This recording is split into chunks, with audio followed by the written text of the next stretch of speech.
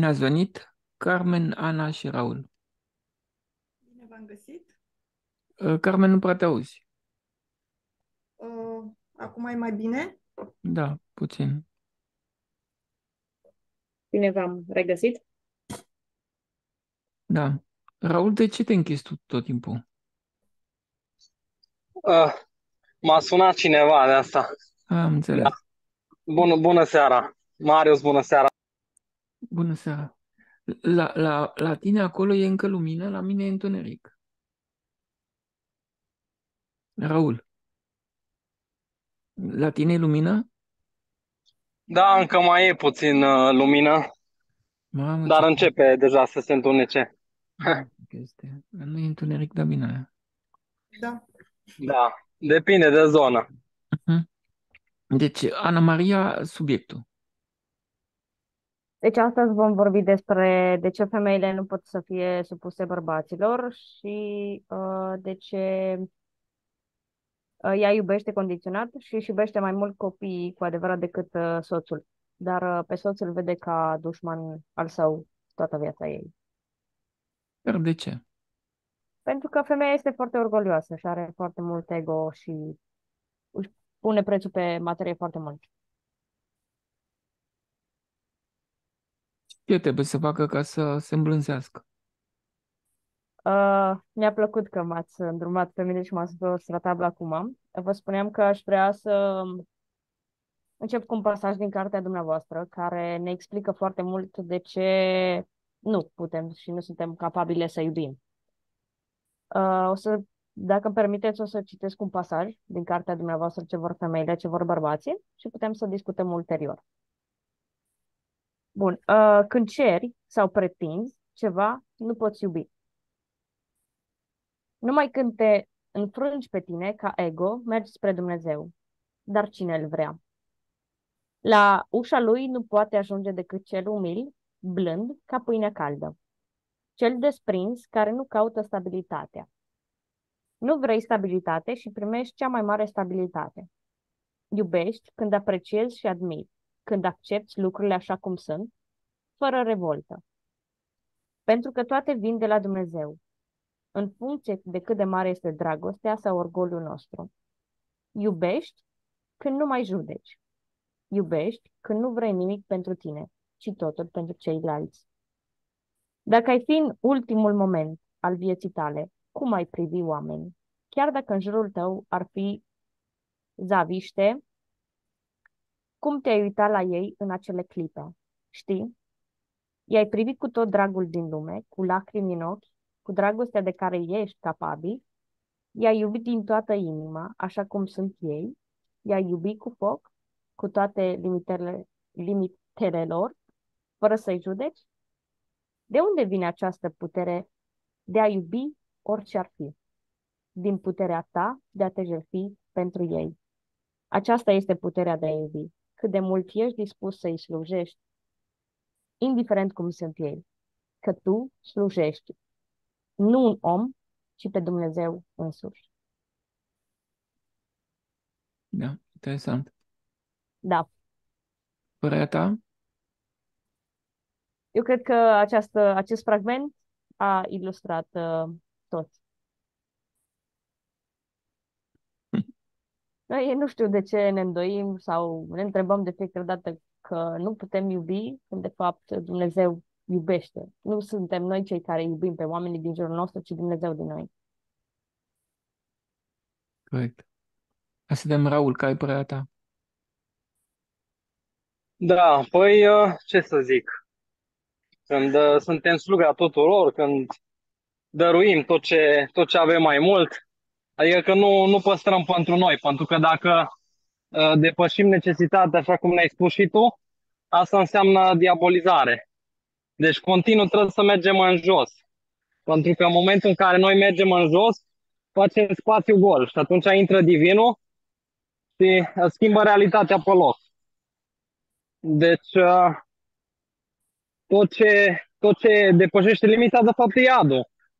Și noi asta căutăm zi de zi, în loc să, să mergem uh, în jos. Deci, de fapt, uh, fugim de divin. Și știm, știm lucrul ăsta. și tot o facem. Pentru că căutăm suferința. Asta e. Dar uh, din ce am experimentat, suferința asta e foarte necesară.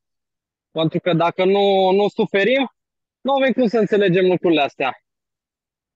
Și uh, cât ego avem, atâta atac uh, din față vom primi. Uh, și referitor la, la supunerea femeii, aici e foarte, foarte esențial, exact cum a spus Ana, deci uh, au un orgoliu foarte mare și nu, nu, nu poate să se lase. Adică până când uh, nu, nu face supunerea asta la bărbat, nu are cum să, să, să, să se lase.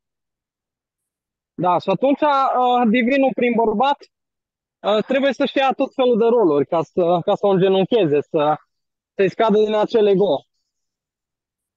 Și uh, când îl atacă pe bărbat, uh, bărbatul simte efectiv un piept. Uh, se sufocă automat.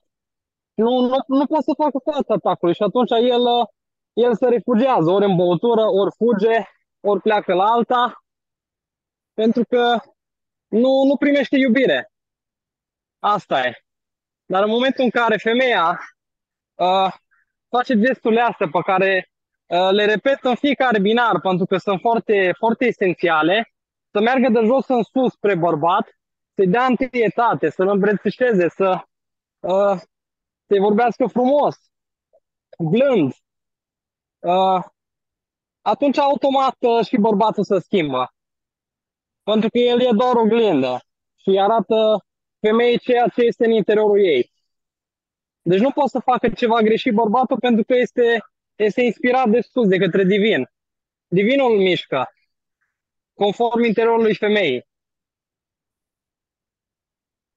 Înțeles. Raul, ce întrebare poți să-i pui lui Ana? Uh, de ce, uh, de ce uh, ego-ul femeii îl, îl, vede, îl vede continuu greșit pe bărbat și vrea să-l atace? De ce vrea să-l schimbe? Dacă el, el este deja perfect așa cum e.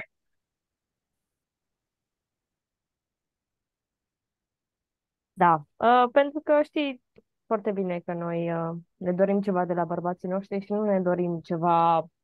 Adică, uite, de exemplu, astăzi am dat într-o discuție cu tine uh, un exemplu pe care l-am auzit și în alte binarii, faptul că femeia se lasă supusă, condiționat, în momentul în care știe că bărbatul, în următoarea perioadă, poate să îi împlinească o plăcere sau o nevoie, care e o nevoie temporară, să trece bucuria aia, sclipirea aia de moment. Și eu am căzut de multe ori în uh, această experiență și învăț continuu, pentru că doresc să-mi îmbunătățesc uh, relația cu bărbatul pe care, o am, uh, pe care l-am. Deci îl șantajez pe bărbat? Nu chiar îl șantajez, dar... Uh, îl condiționez? Spun... Da. Adică îl șantajez? Așa. Adică îl manipulezi. Da, și noi automat simțim lucrurile astea. Avem, uh, avem detectorul ăsta noi, cum zice și, și Marian. Și atunci, automat, uh, bărbatul trebuie să, să-și ia un rol ca să-i distrugă toate așteptările femeii, toate uh, dorințele ei, toate uh, absolutizările, exact cum ne spune și Marius. Înțeles. Ce întrebare îi pui Ana lui Raul? Uh, eu n-aș putea să-i pun lui Raul nicio întrebare. Încearcă totuși. O nemulțumire care o ai tu. Uh, nu, nu știu, adică n-aș putea să înțeleg, adică încă nu înțeleg faptul că dacă eu merg înspre Raul, de exemplu, sau or, oricare alt bărbat și vorbesc sau discut despre un subiect, discut din punct de vedere uman prima dată și apoi încerc să aplic învățăturile Uh, nu știu neapărat dacă chestia asta e o nemulțumire față de bărbat, uh, cât, nu știu, nu știu cum să o definesc eu. Uh, și este, na, toate se trag din uh, orgoliul femeii și toate derivă de acolo. Adică nemulțumirile pe care ea le are față de bărbatul ei sunt nemulțumirile ei proprii. Și am simțit asta. Ce nemulțumire ai tu față de bărbat? Uh, eu consider că uneori uh, el nu mă iubește așa cum aș fi dorit eu, pentru că eu am ego și ego vrea să fie iubit într-un anumit standard. Să, să În, fie în ce pus mod? pe În pie- ce mod? În ce mod? Adică ce să facă? Ce înseamnă să fie, să fie iubită? Nu știu, adică să... Să facă ce vrei tu. Da, Păi se poate? nu. nu pentru că divinul îmi dă înapoi lecții uh, dureroase rău de tot. Da, bine, pentru ego sunt dureroase, pentru că sufletul, dup- după cum știm, nu, pe el nu îl doare nimic. Bun. Și în traducere, ce înseamnă când îți dă uh, lecții dureroase? Uh, Ce înseamnă? Că dacă nu îți răspunde cu iubire, înseamnă că calea pe care o ești, ești tu, adică pretențiile respective, nu sunt adevărate. Da. Deci îți demonstrează Dumnezeu calea pe care mergi nu e corectă. Atunci de ce insisti pe calea aceea? Să, să, de ce îl condiționezi în continuare? Că vei primi întotdeauna același lucru. Deci, mai până Dumnezeu nu mă lovește drastic, adică drastic, uh, cred că înțelegeți cuvântul care îl, îl spun acum, uh, cred că nu mă învăț minte. Eu trebuie să trec de cel puțin trei ori printr-o experiență asemănătoare ca să înțeleg odată lecția asta. Și dacă eu nu o înțeleg din inimă și experiența se repetă și o conștientizez doar cu mintea, nu funcționează. Și atunci când eu nu sunt supusă, când nu mă golesc de orgoliu, când uh, nu mă supun, când nu dăruiesc, când nu fac slujire, atunci n-am, n-am cum să evoluez într-o relație. Deci vrei să spui că dacă nu faci supunere, uh, uh, vei pune condiții. Da. Am înțeles. Inevitabil vei pune condiții, adică Da, vezi că dacă nu te supui, urăști. da, și chiar și în part. Da. Și nu mai poți să iubești. Dar ce faci tu? Ai niște idealuri pe care le aperi? Și bărbatul ți le Absolutizări, distruge. absolutizări am, Absolutizări. uh, da. Ce, ce absolutizezi? O căsnicie fericită, o ce? Ceva. Da, o familie, Bărbatul să căsnicia. tacă din gură să execute ce zici tu? Nu? Da, Ca bărbatul să nu, ca bărbatul să nu înjure și chiar asta m-a, m-a pus divinul să fac. da. L-ai corectat pe Dumnezeu care înjura? Păi, păi spune-le înăpătate, dă hârtile pe față, că suntem aici în, în bina, nu mai lăsa șarpele să se ascundă. Uh, da.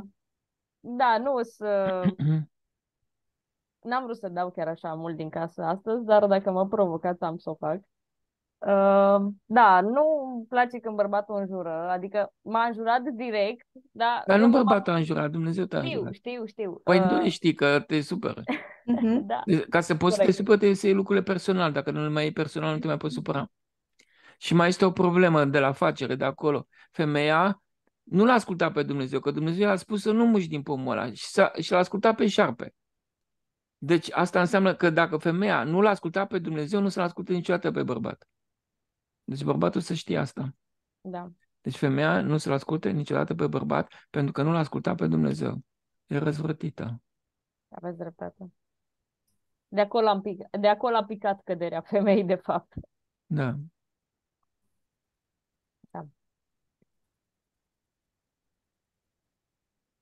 Cum e, Carmen? Care ar fi soluția?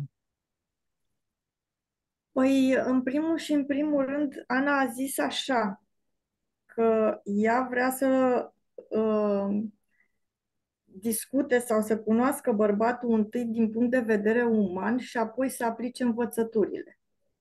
Nu funcționează așa. Învățăturile trebuie să devină un mod de viață. Învățăturile trebuie aplicate și să trăiești conform învățăturilor. Nu putem să separăm. Nu putem să fim oameni care să aplicăm învățăturile. Trebuie să fie uh, învățăturile, modul tău de a fi. Întâi de aici se pleacă. Tu ai citit foarte frumos fragmentul și uh, la nivel teoretic știi învățăturile. Problema e cu a le pune în practică la tine. La nivel teoretic e perfect, le știi. Pune-le în practică. Da, Adică da. tot, tot ceea ce ai citit, tot ceea ce ți-ai însușit din punct de vedere mental, acum pune în inima ta și proiectează din inima ta viața din jurul tău. Creează-ți-o conform învățăturilor. Creează-ți viața din supunere față de cei din jur. Tu nu ești aici pentru fericirea ta. Tu ești aici pentru fericirea celorlalți. Și când ceilalți vor fi fericiți, tu vei fi foarte fericită. Trebuie să schimbi perspectiva din care te uiți la situație. Să te uiți din alt unghi. Nu din unghiul din care ai privit până acum.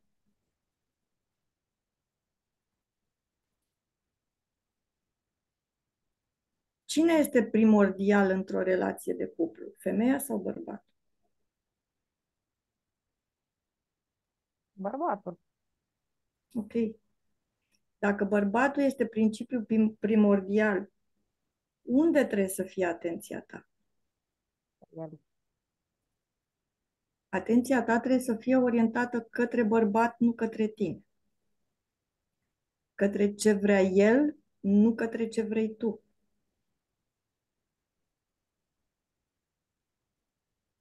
E pe înțelesul tău ce spun eu acum? Ajunge la tine?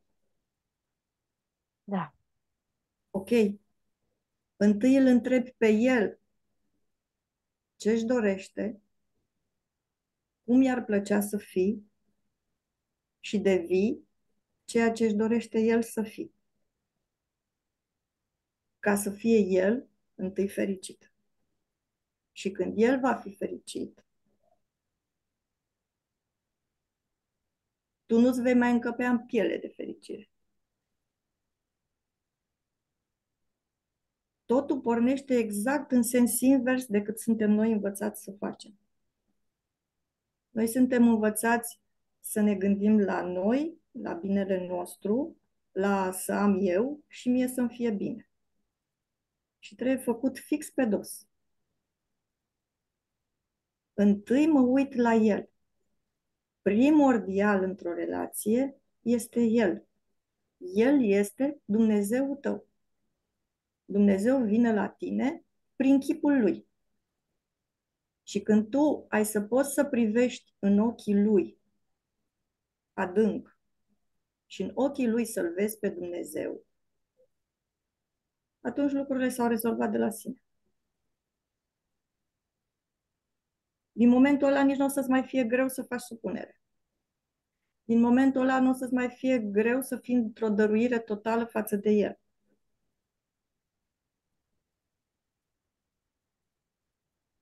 Din momentul în care tu conștientizezi, privindu-l în ochi, că acolo este Dumnezeu, totul începe să curgă.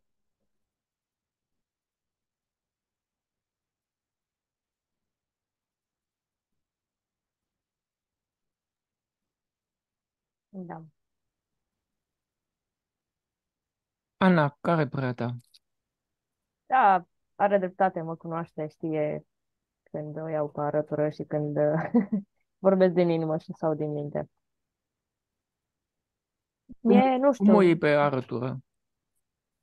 prin absolutizări, prin nesupunere, prin neascultare, prin toate Nu celelalte. poți să-l asculți, să, să, deci să-l întrebi mereu dacă e bine, nu e bine. Nu poți. Ca, așa devine și el masculin și mai, mai bărbat. Și ești interesată, că îi dai energie. Problema bărbatului este că în momentul în care femeia îi pune condiții, nu-i mai dă energie. Și atunci se va duce în altă parte. Automat. Da, înțeleg. Deci ea trebuie veșnic și tot timpul să nu-i pună condiții niciodată. Să nu aibă pretenții de la el, să nu-l conducă, să nu-l corecteze, să nu-l contrazică niciodată. Să nu mai aibă așteptări de la el, să nu vrea nimic pentru sine. Întotdeauna totul pentru el. Și când îl pune pe bărbat pe primul plan, el va fi cea mai fericită. Și de ce va fi fericită? Că își pierde ego De ce va fi fericită? Deci ea trebuie să facă tot posibilul să dorească energie, pentru că când își pierde ego dă energie, îl încarcă pe bărbat cu energie și după aceea Dumnezeu prin bărbat va veni înapoi și o va mulțumi. Și nu va ști ce să facă ca să fie ei mai bine. Că pentru că Dumnezeu lucrează prin oameni. Deci asta face femeia, tot timpul având pretenții de la bărbat, nu mai dă energie. Îi cere socoteală, îi pune condiții și aceea nu este iubire. Când nu iubești, urăști. Deci aia este ură. Și bărbatul percepe chestia asta ca... Deci pentru el este esențial să fie iubit. Esențial ca femeia să fie supusă, să facă ce zice el, pentru că Dumnezeu vorbește prin el și atunci va fi armonie în familie. Când femeia va face ce zice Dumnezeu prin bărbatului. Dar dacă îi se va opune, va fi nefericită tot timpul. Pentru că dacă nu-i dă energie, nici ea nu va primi energie. Da? Și nu se va simți iubită. Deci ca să fie, să se simte iubită, ea trebuie să iubească infinit mai mult. Bărbatul. Ca să aibă de unde să vină înapoi. Că bărbatul mai folosește energia aceea în lupta cu viața, cu ceilalți bărbați, în confruntare cu greutățile vieții. Da? Și ea trebuie să dea foarte multă energie ca să bărbatul, după ce se luptă cu toți ea, cu toți balaurii afară, să poate să vină înapoi să-i acorde atenție, grijă, dragoste, prețuire, ocrotire. Deci ea trebuie să dea infinit mai mult, întotdeauna, ca să aibă din ce să, ce să aducă înapoi bărbatul, că el va folosi o parte de energie ca să poată să reușească în viață. De, deci este esențial ca să fii mulțumită, tu ai nevoie ca bărbatul tău să reușească în viață, să învingă greutățile, ești interesată. Dar cum să învingă greutățile dacă, sau să-și dea examenul de stat dacă tu nu-l iubești? El nu poate să-și dea examenul de stat. Deci are nevoie de susținere, de dragoste, ca să poată să învingă greutățile. Deci bărbații depind total de femei. Și culmea este că femeia înțelege chestia aceasta și îl manipulează. Folosește tot în interesul ei, îi dă condiționat, nu face asta în orice condiții, îi pune condiții și dacă îi pune condiții, relația nu va funcționa deloc. Și se vede lucrul ăsta, că apar reacții. Din fața cui? Lui Dumnezeu, că în fața e divinul. Bărbatul e divinul. Și în femeie este divin. Ă, dar ă, e un divin care ă, trebuie să, învețe, să reînvețe să iubească. Da? Și nu poate să învețe să iubească decât dacă cedează din teluric, din ce 80% teluric, materialitatea trebuie să cedeze teluricul. O ajută foarte mult sacrificiu, slujirea, uh, efortul pe care îl face. Asta îl, o ajută foarte mult. Ascultarea, um, susținerea bărbatului, încurajarea lui, toate, tot efortul ăsta de dorire de sine Uh, o ajută, că o încărcă cu energie subtilă. Deci ea, ea dă energie telurică și primește în schimb energie subtilă. Deci ea, iube, nu, deci ea nu iubește direct pe Dumnezeu. Ea iubește indirect prin bărbat. Ea nu simte pe Dumnezeu decât prin bărbat. În măsura în care iubește bărbatul, ea iubește pe Dumnezeu. Întotdeauna va fi așa. Dumnezeu a creat această legătură, această condiționare, ca să poată să îi țină la oaltă să existe familia, să existe dragostea, să, să meargă unul spre altul continuu, știi? Deci, uh, problema femeii este că nu face ascultare, îi pune condiții și condiționările pentru bărbat înseamnă ură, înseamnă atac la persoană și uh, atac la divin. Și atunci el va, se va îndrepta în alte părți unde nu este atacat. Cunosc o situație de genul acesta cineva care mi este apropiat, tot așa, a atacat, a atacat uh, pe băiat până când el a plecat și s-a căsătorit imediat și a făcut și un copil. Imediat. Ceea ce a dovedit că nu era fericit acolo unde era, pentru că îi se puneau condiții. Da. Care e părerea ta, Carmen? Da, în primul și în primul rând uh, trebuie să înveți să asculți bărbatul. Să-l asculți, nu să-l auzi. Să fii, să-l asculți cu inima, nu cu mintea. Să fii prezentă cu totul. Când începe să-ți vorbească bărbatul, tu ești cu sufletul și cu inima atentă la el, îl privești, te uiți, îți vorbește Dumnezeu. Ești în, cu ochii, cu privirea ațintită pe privirea lui Dumnezeu. Și în momentul ăla ai să îl asculți cu inima. În momentul ăla ai să înțelegi care sunt dorințele lui. Bărbații să știi că sunt extrem de simpli față de noi femeile. Ei în cuvinte foarte puține și simple spun ceea ce își doresc de la noi.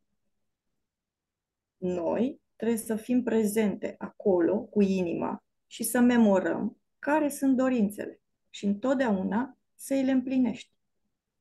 Ce înseamnă să facă femeia fericit bărbatul? Să împlinească dorințele lui.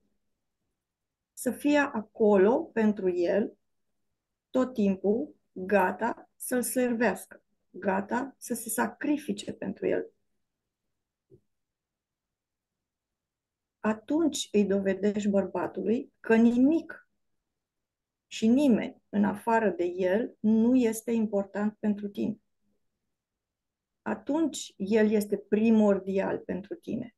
Când tu ești acolo, cu sufletul și cu inima, pentru el, gata să împlinești orice dorință are el față de tine. În momentul ăla, pe el, tu l-ai încărcat cu energie.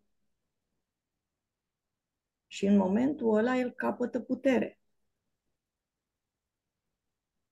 Când tu ești acolo cu inima și cu sufletul, gata să-l slujești.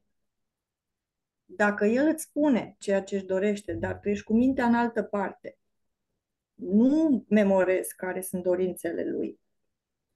Și mai mult, îi mai dai și o replică că tu vrei nu știu cum, sau îi spui ceea ce vrei tu, atunci conexiunea aia a dispărut.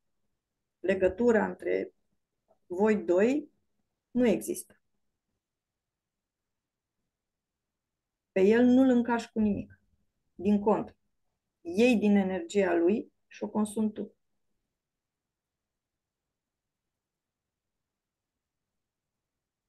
Noi, femeile, avem pretenția ca bărbații să ne împlinească nouă dorințele. Noi ce facem pentru ei? Noi ce facem pentru ei? Pentru că întotdeauna, ca să primești, întâi trebuie să dăruiești. Ce dăruim noi întâi, ca apoi să primim? Și întotdeauna dăruiești fără nicio așteptare și fără condiții. Iubirea are o singură unitate de măsură, aceea de a iubi fără măsură. Fără măsură, infinit. Asta este unitatea de măsură a iubirii. Dai tot timpul. Doar dai. N-ai pretenția să-ți vină nimic. Nu ceri. Doar dai iubirea necondiționată este precum apa dintr-o fântână. Pe măsură ce scoți câte o găleată de apă din fântână, apa iese și mai curată, și mai limpede, și mai rece, și mai proaspătă și e din ce în ce mai, mai multă.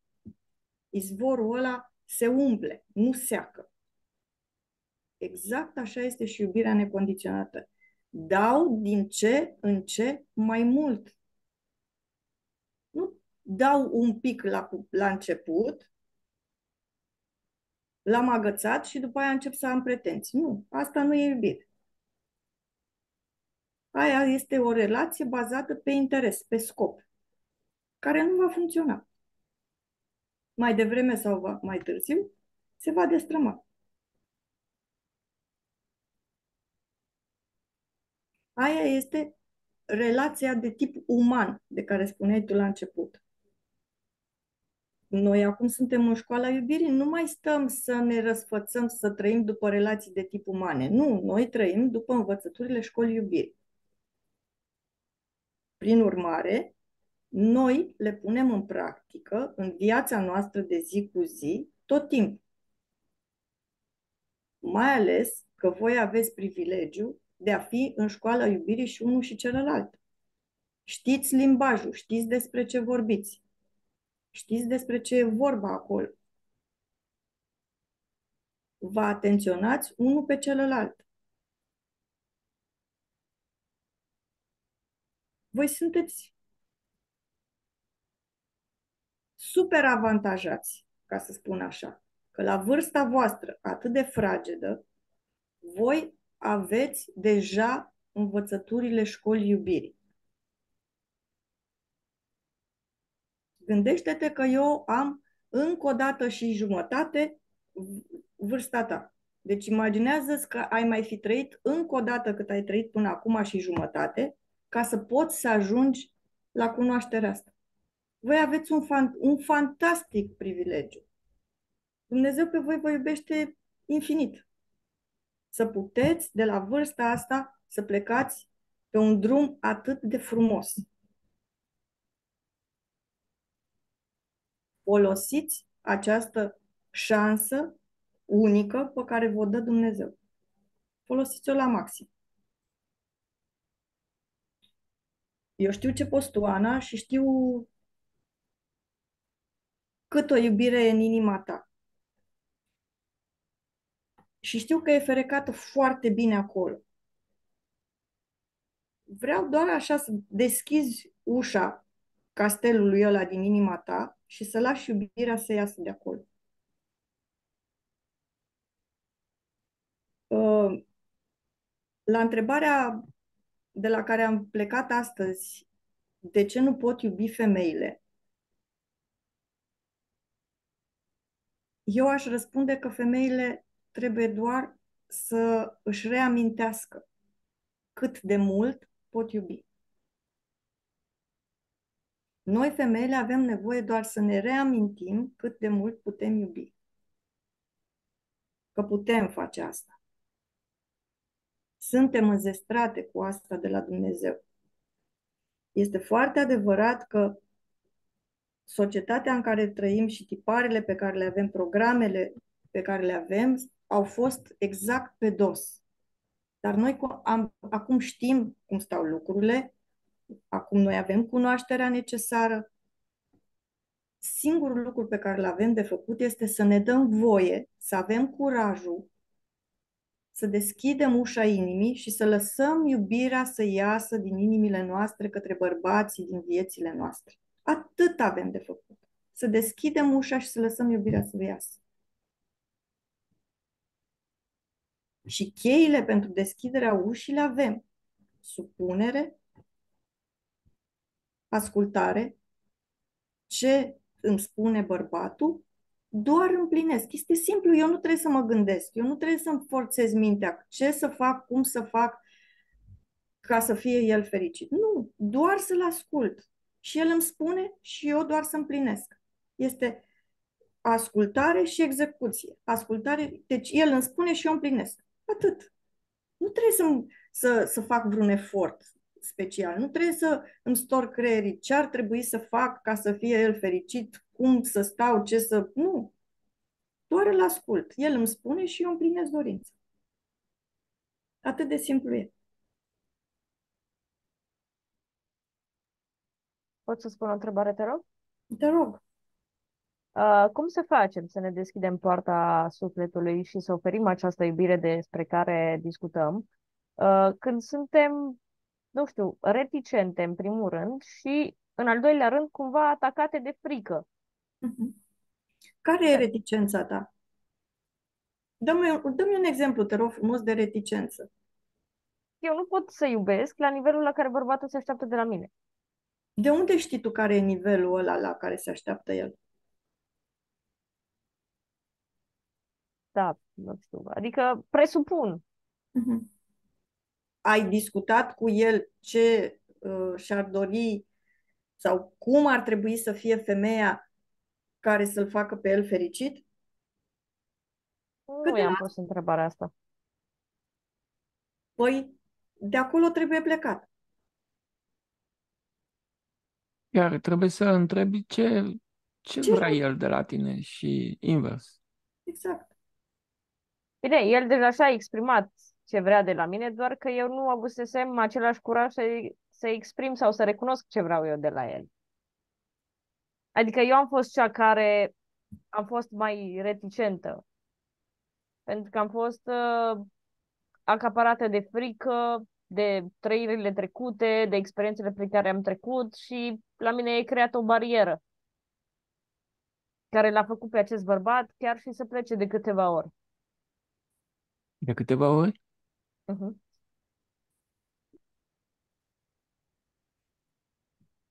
Ți-e frică de ce anume? Că Mi-e ți, se- frică, mi-e frică să mă las total. că ți se întâmplă ce? Deci dacă te lași, ce ți se întâmplă? Ți-e frică că o să... Ce? Nu știu, acum nu vine, acum nu vine nimic în cap uh, ce frici aș putea avea. Nu știu, E, uite, ar e, e putea... frică că o să se întâlnească cu Dumnezeu, asta cred. Da. Ți-e Și frică? mereu are, are tendința asta de a se identifica cu ego-ul. Și am spus, măi, încearcă să te de- dezidentifici de ego-ul ăsta, uh, să înțelegi faptul că tu nu, uh, nu ești acel ego căruia îi să face ceva, ci e Sfința Divină care nu este afectată de nimic. Și faptul că uh, Divinul prin ceilalți nu face decât să, să ne corecteze ego-ul din noi. Deci nu fac ceva de capul lor, îți spus uh, la poruncă de sus, ca să ne ajute pe noi, adică să sacrifică, să aruncă în iad pentru noi. Pentru că dacă nu ar face lucrul ăsta, atunci noi am murit. Pentru că pierdem energie. în momentul în care îl acceptăm pe celălalt așa cum vine din față, fără să vrem să-l schimbăm, fără să-l judecăm, fără să-i punem vreo etichetă, atunci automat uh, ne încărcăm la loc.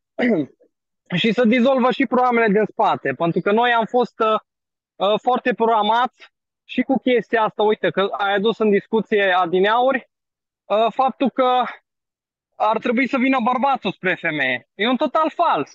Deci cei de sus au avut grijă să, să facă și programarea asta, că acum bărbatul să-și piardă din energie. Când de fapt e invers. Femeia trebuie să vină spre bărbat și atunci ea îl încarcă cu energie. Deci continuu să vină. Pentru că bărbatul ești, este ca și un copil. Deci mereu, mereu are nevoie de atenția femeii. Și când îi, îi se dă această atenție și face ce spune bărbatul, atunci automat, uh, automat se schimbă și relația. Adică totul, totul intră în armonie. Și când uh, femeia îl încarcă pe bărbat, atunci de la bărbat merge și spre copii. Și nu, nu mai sunt probleme în familie. Dar de la această nesupunere, uite, sunt tot felul de situații care îl obligă pe bărbat să, să-și ia tot felul de roluri și uh, îmbolnăvește și copiii, și, și pe bărbat, și pe toată lumea. De asta e foarte important să, să înțelegem lucrurile astea și să, să le practicăm. Pentru că dacă doar rămâne la nivel de teorie, atunci n-am făcut nimica. Nu, nu putem să ne schimbăm viața.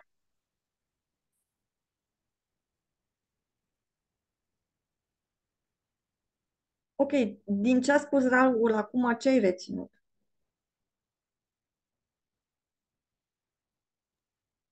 Am înțeles uh, tot ce a spus Raul, dar um, eu venind și din dogmă și multe alte experiențe trecute, mi este foarte greu să fac pasul ăsta dintr-o dată. Știu că trebuie să am, nevo- adică am nevoie de timp, sunt conștientă de asta. Uh, în primele luni în care m-am pus serios pe învățături, avusesem și așteptări foarte mari de la mine, adică să, să văd, uh, nu știu, uh, o schimbare în, uh, în aplicarea acestor învățături, atât la muncă cât și în alte relații.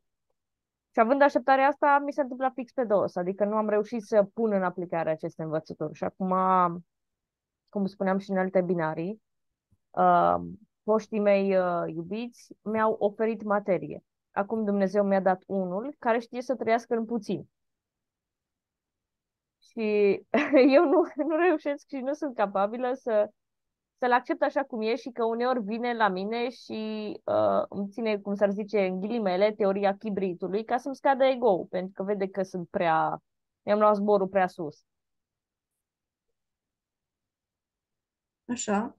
Și? Da, și eu, uh, și eu ți-am spus clar uh, care au fost intențiile mele de la bun început, știi bine? Că Da. bărbații noi așa suntem, suntem direct, adică spunem lucrurile pe față, ca să înțelegeți ce, ce vrem de fapt uh, de la voi.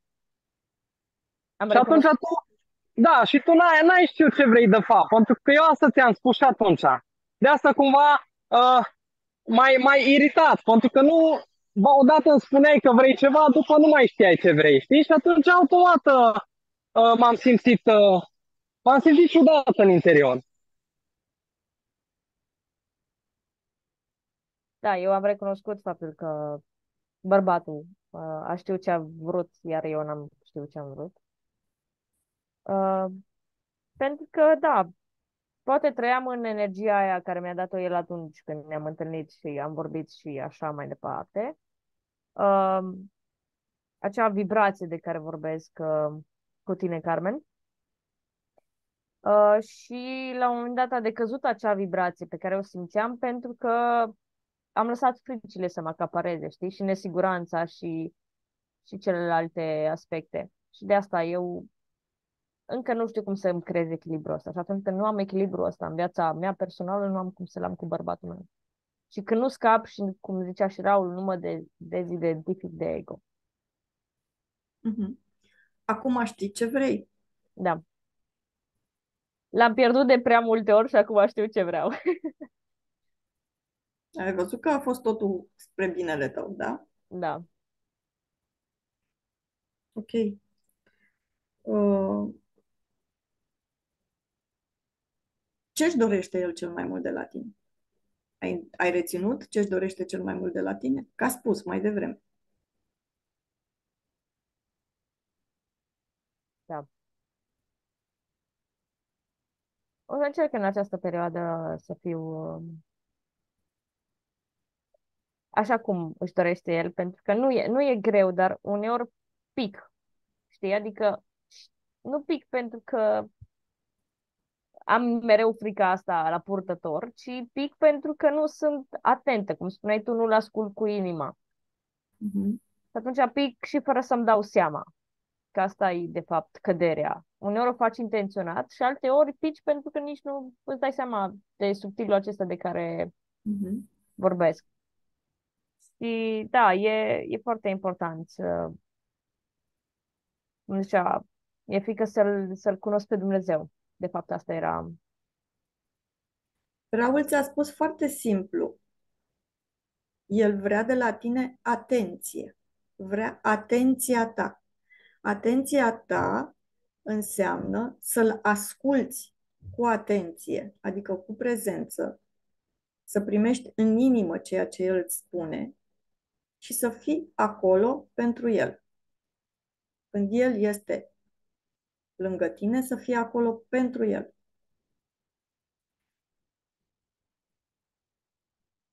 Marea greșeală a noastră a femeilor este că uh, lăsăm bărbații să fie lângă noi din punct de vedere fizic, ei sunt alături de noi, dar noi suntem cu mintea plecată foarte departe. Nu suntem acolo cu ei.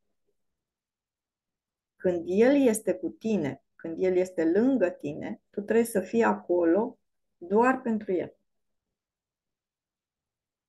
Cu atenția către el și cu dispunere totală să împlinești dorințele. Pentru că lângă tine este Dumnezeu, care are chipul lui. Și îți vorbește prin el. Da. Și când ai să integrezi chestia asta și când ai să o simți în inima ta, știu că cel mai bun exercițiu care funcționează în situații de genul ăsta, dacă o să agreați amândoi să-l faceți, este următorul. Doar să stați față în față, să vă priviți în ochi și să nu rostiți niciun cuvânt, dar să vă transmiteți prin gânduri unul celuilalt ceea ce ați fi dorit să vă spuneți prin cuvinte. Și când ai să poți să-i transmiți doar privindu-i în, privindu-l în ochi, ceea ce îți dorești, și tu să citești doar privindu-l în ochi, ceea ce el îți dore, își dorește, atunci l-ai acceptat pe Dumnezeu din el. Deci trebuie să te scufunzi în ochii lui, pur și simplu.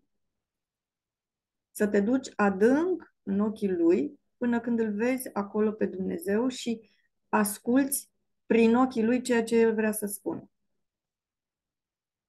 Deci tu trebuie doar să creezi spațiu și privindu-l în ochi să primești în inima ta ceea ce el îți spune. Și după ce faceți exercițiul ăsta privindu-vă în ochi, vă spuneți unul celuilalt ceea ce ați avut de spus. Adică tu, uh, după ce îl privești pe, pe el în ochi, îi spui lui ce ai citit tu în ochii lui. Raul, ai vrut să-mi spui cu tare și cu tare lucru. Iar el o să spună, Ana, tu ai vrut să-mi spui asta. Și o să vedeți că nu este nevoie de cuvinte în iubire. Este nevoie doar de iubire. Nu mai aveți nevoie de cuvinte atunci. Aveți nevoie doar să vă priviți și v-ați transmis unul celuilalt ceea ce aveți de spus. Ceea ce simțiți. Atunci veți fi amândoi indivizi. Atunci va fi unitatea aia în, în iubire de care se tot vorbește în momentul în care iubirea trece dincolo de cuvinte, dincolo de ceea ce putem exprima, cum ai spus tu la început, din punct de vedere uman.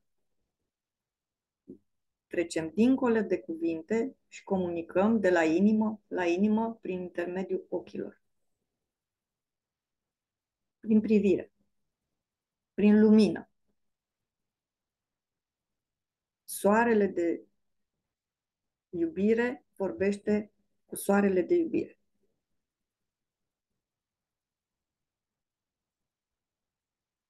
Și știu că puteți să faceți asta.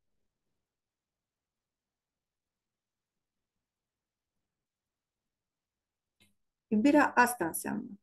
Să las interesul meu personal, să las uh, dorințele mele, să las confortul meu, să las ceea ce aș vrea și ceea ce mi-ar plăcea să fac în momentul ăsta și să fac ceea ce își dorește celălalt ca să fie fericit. Celălalt și în momentul în care cel din fața mea e fericit, sunt fericită și eu. Numai așa poate să ajungă la iubire femeia. Dăruindu-se total, fără condiții, bărbatului din viața ei.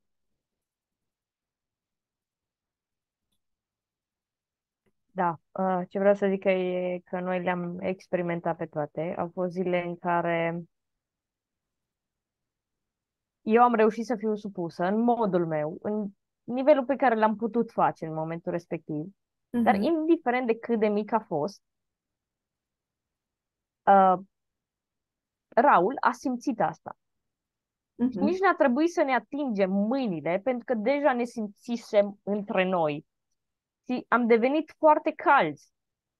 Uh-huh. Atât eu cât și el, fără să ne atingem, repet.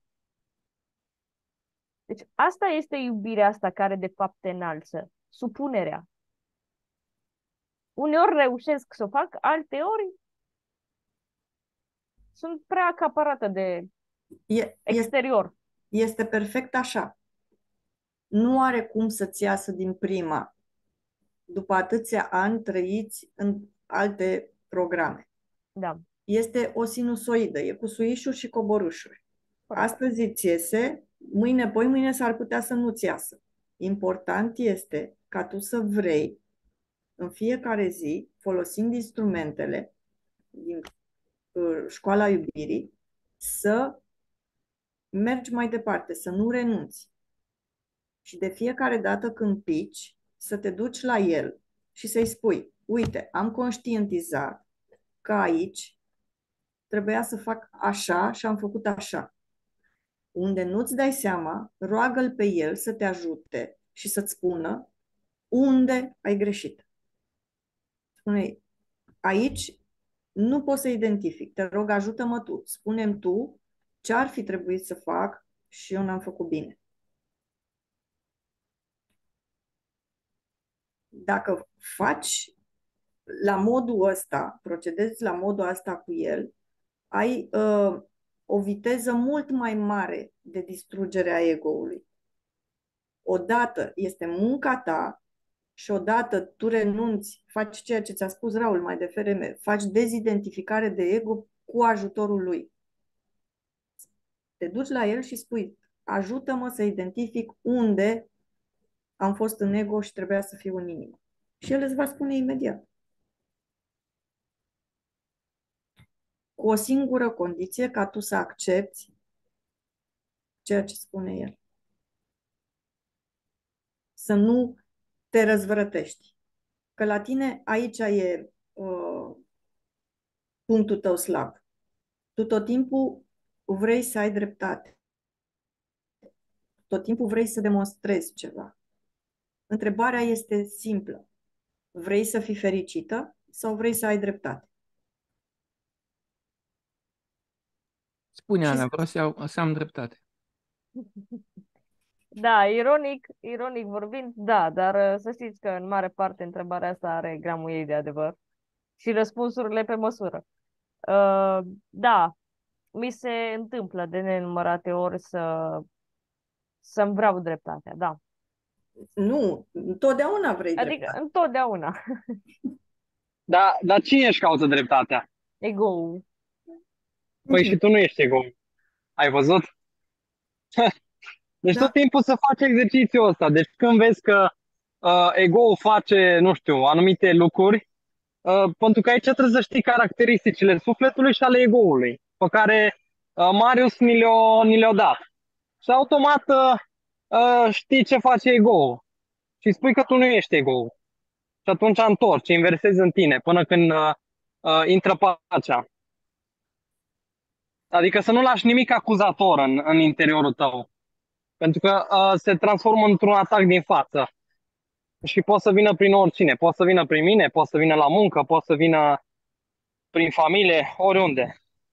Deci de asta e foarte important să, să stingem lucrurile astea în noi. Și uite, faptul că uh, ți-am spus atunci că te iubesc așa cum ești, deci ai văzut că tu la un moment dat te plângeai că ești prea slabă și că ai vrea să, să te mai îngrași. Și eu ți-am spus că pe mine nu mă interesează lucrul ăsta și că te accept așa cum ești, slabă. Deci nu, nu ți-am pus nicio condiție, n-am avut nicio așteptare, știi? De fapt, uh, erau așteptările tale aici pe subtil. Uh, Și uh, mai era o chestie cu răbdarea, da. Uh, Ți-am spus că, că am răbdare și mă străduiesc cât pot să am răbdare. Dar spune și tu mie, cum aș mai putea avea răbdare în momentul în care uh, eu mă arunc în iad pentru tine, pierd energia vieții și tu nu mă mai încarci. Deci gândește-te că îmi pierd și răbdarea, nu? Pe moment. Dar ai văzut că uh, tot, uh, tot am revenit împreună. Deci s-am arătat prin toate sacrificiile pe care le-am făcut că te iubesc. Și că nu vreau să te schimb de niciun fel, adică eu te-am acceptat așa cum ești.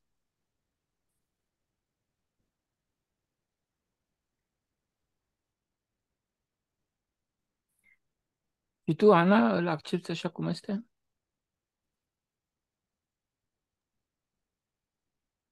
Încerc.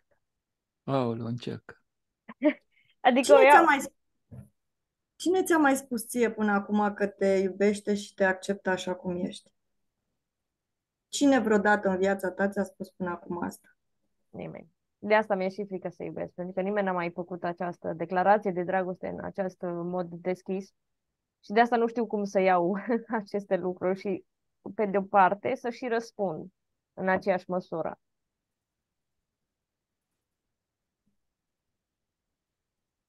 Ce înseamnă că nu știi cum să iei declarația asta? Adică el a fost foarte sincer și a spus de la început ce își dorește, dar eu nu eram capabilă, nu știu, să percep toate chestiile astea.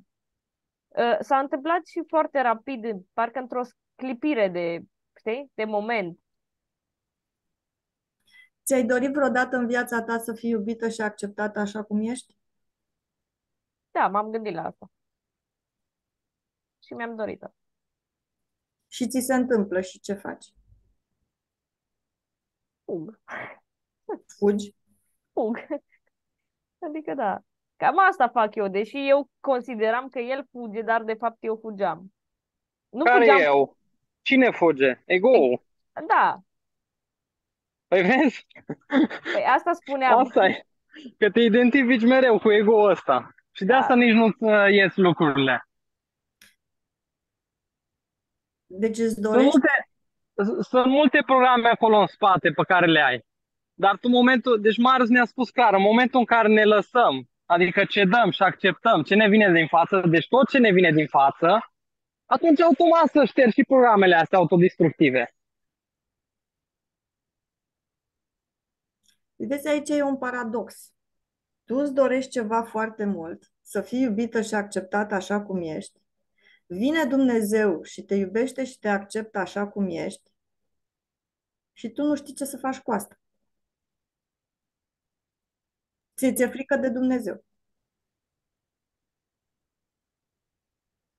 Cred că știi. Acum, nu știu dacă cei din școala iubirii um, știu. Mie mi-a fost greu să mă supun inclusiv celor uh, foștilor mei, pentru că eu nu știu, nu știam cum să-L accept pe Dumnezeu și că Dumnezeu vrea anumite lucruri la care eu țin. Adică, de exemplu, pot să fac referire aici și permiteți-mi să fiu directă, corpul meu, trupul meu. Dar eu nu mă identific cu trupul meu. Adică Dumnezeu face ce vrea cu el, dar eu asta n-am înțeles până acum. La Așa. fel și cu viața și la fel și cu celelalte aspecte. Nu știu de ce am frica asta, nu știu, de a mă lăsa așa, să curg ca un râu în fața bărbatului meu. Să fiu supusă până în sânge. Cum spuneai tu, de scufundarea respectivă.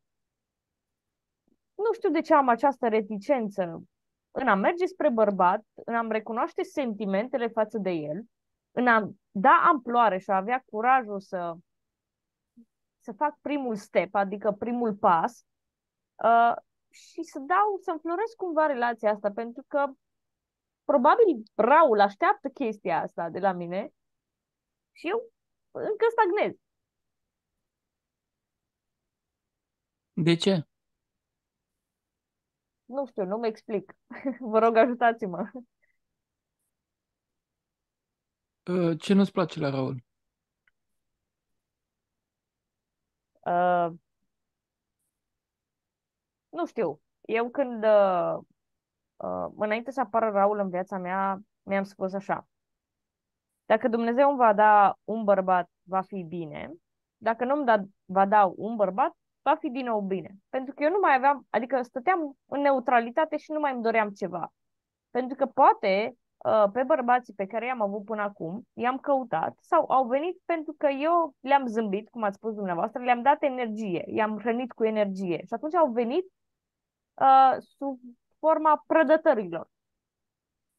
Și, și acolo am picat pentru că n-am făcut supunere. Dar eu nu m-am trezit decât acum, când Dumnezeu mi l-a rădat pe Raul să-mi scadă ego-ul și să îmi scoată în evidență faptul că eu puneam preț pe, pe trupul meu, pe viața mea, pe lucrurile care nu sunt deloc esențiale. Pe binele propriu, de fapt. Adică Da. te-ai pus mai sus, ca, ca pe, pe, pe Dumnezeu. Și asta înseamnă că te-ai făcut o ființă întunecată, instant. Da. Deci asta e. Și, și frica asta vine, de fapt, din, uh, din eu pe primul plan. Adică când fac totul pentru mine. Din, uh, adică când te duci continuu pe exterior. Ești atașată de plăcerile acestei lumi. De acolo vine frica. Pentru că ți-e frică să, să pierzi lumea. Dar când, când tu pierzi lumea, de fapt îl, îl câștigi pe Dumnezeu, asta e. Da.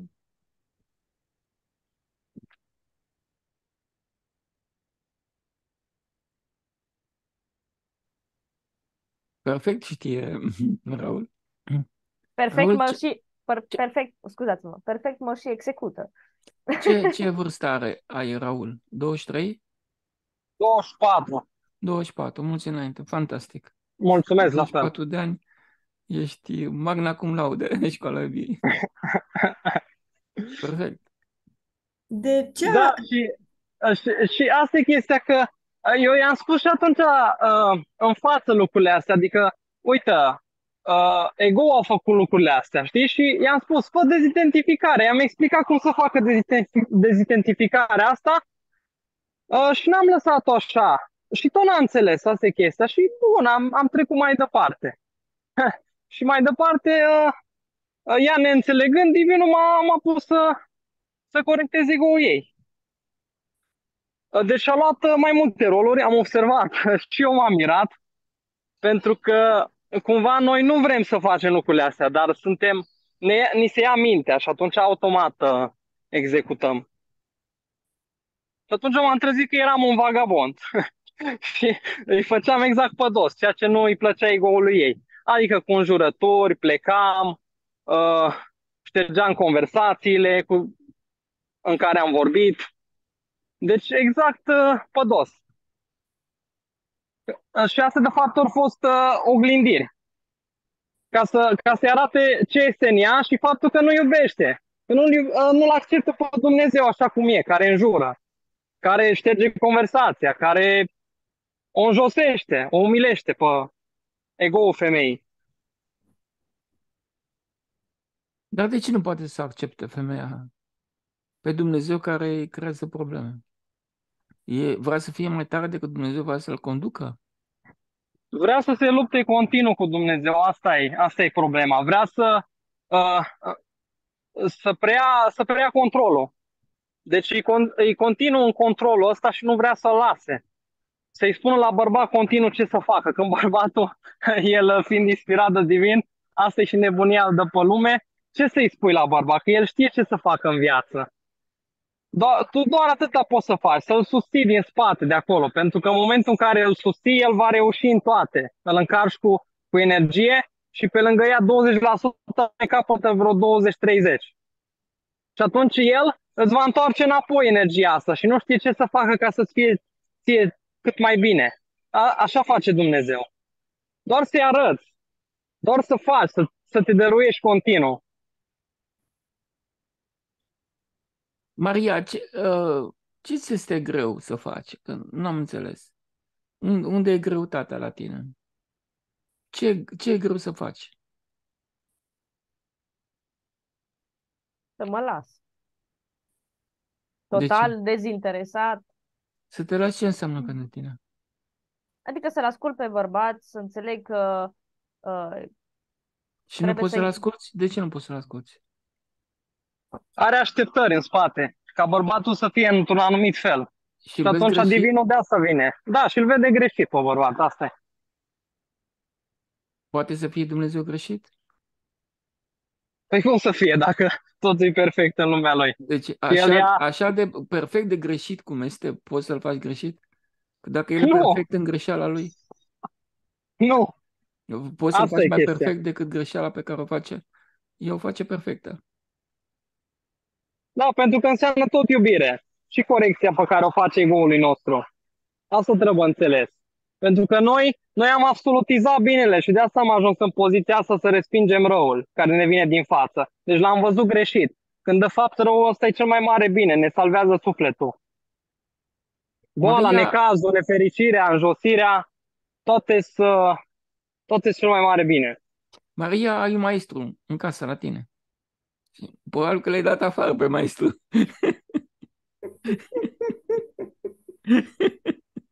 Având în vedere că e pe stradă la ora asta, da, e afară.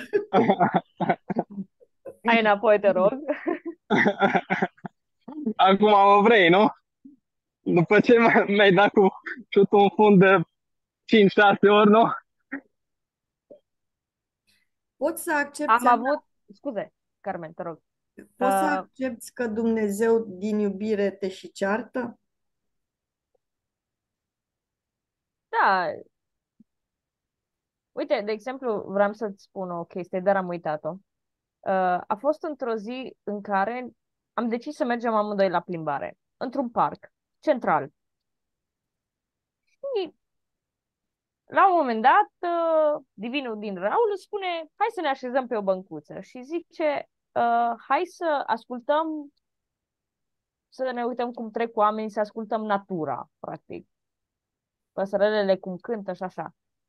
Și n-am putut să stau locului, adică simțeam nevoia să mă duc, să mă plimb, să... Deci nu știam să stau locului, să, nu știu, să gust din uh, natura asta și tot ce ea ne oferă. Adică și să fiu prezent în același timp și în același timp și să fiu recunoscătoare față de tot ceea ce am în jurul meu. Am stat cât am stat și la un moment dat, divinul din Raul îmi, îmi adresează o întrebare. Arată-mi că mă iubești. Hm. Și eu am zis, cum să-ți arăt că nu știu? Adică el din nou mi-a repetat întrebarea crezând că eu n-am înțeles. Arată-mi că mă iubești. Au. Arată-mi că mă iubești. Ce, ce am putut să fac eu atunci? Nici nu mai știu ce am făcut. Uh, dar întrebarea aia pe mine m-a dat gata. Când vine un bărbat la tine, la o femeie și spune arată-mi că mă iubești, mie nu putea trece în minte care este acel lucru simplu și banal de care bărbatul are nevoie. Ție nu-ți venea să-l îmbrățișezi, că asta are nevoie de dragoste. Asta înseamnă dragoste. Îmbrățișare, sărut. Se greu? Se greu?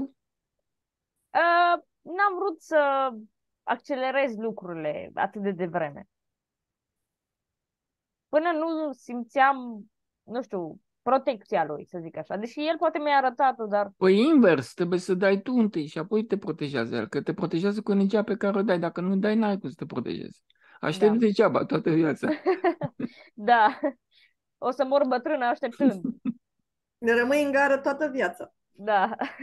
Și trec terenurile pe lângă tine. Raul, acum știi de ce îmi place la gară? Nu știu. Păi acum ți-a spus Spune. Carmen.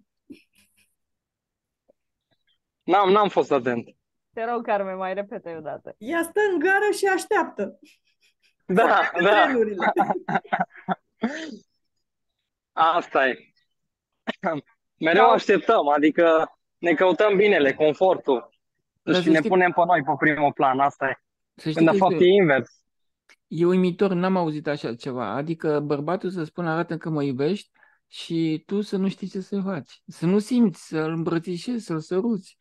Nu simți. Marius, nu- si- domnul Marius, simțeam să fac ceva. Dar Se dă cu avem o ceva în cap, reticență. probabil. Nu. Nu. Să te lasă nu, odată în nici pace. chiar așa. Nici chiar așa. Nu, simțeam, simțeam să-l iau în brațe, simțeam să-l pup. Dar că aveam o reticență. Nici nu mai știu, Raul, ce am făcut atunci? Ce am făcut eu atunci? Că nu mai mi-amintesc. Păi s-a întâmplat pentru că ți-am explicat până la urmă care e situația Până la și urmă ți-am m-am spus lăsat. Ce, ce, ce, ce, ce gesturi să faci. Și uite, ți-am spus, hai să ne punem aici pe o bancă și să doar să privim, ca să vezi ce, ce incredibilă e, adică cum, cum o intra pacea și liniștea și efectiv a ieșit din îmbulzeala asta, din alergătura continuă. Pentru că, de fapt, noi asta, aici suntem, aici e problema, pentru că alergăm continuu după ceva, când de fapt mai trebuie să ne și oprim. Știi? Și asta am observat lucru la tine. Pentru că tu erai într-o continuă alergătură. Și când te-am pus acolo ca să stai jos, doar să privești, de asta nici n-ai putut. Pentru că ai ieșit, atunci ai ieșit în Matrix. Și ai văzut cum ți s-a schimbat starea după. Că erai mult mai calmă. Te-am simțit. Nu mai erai agitată ca și înainte. Și după te-ai lăsat. Te-ai lăsat și pupată, și îmbrățișată. Și după au venit de la sine. Când ți-am spus lucrurile și... Adică a trebuit să plec de vreo câteva ore atunci, de trei ori, ca, să, ca după să aplici. Să vii tu spre mine, să mă îmbrățișezi, să mă pupi. Păi divinul ce să-ți întoarcă dacă tu nu oferi nimica? asta e.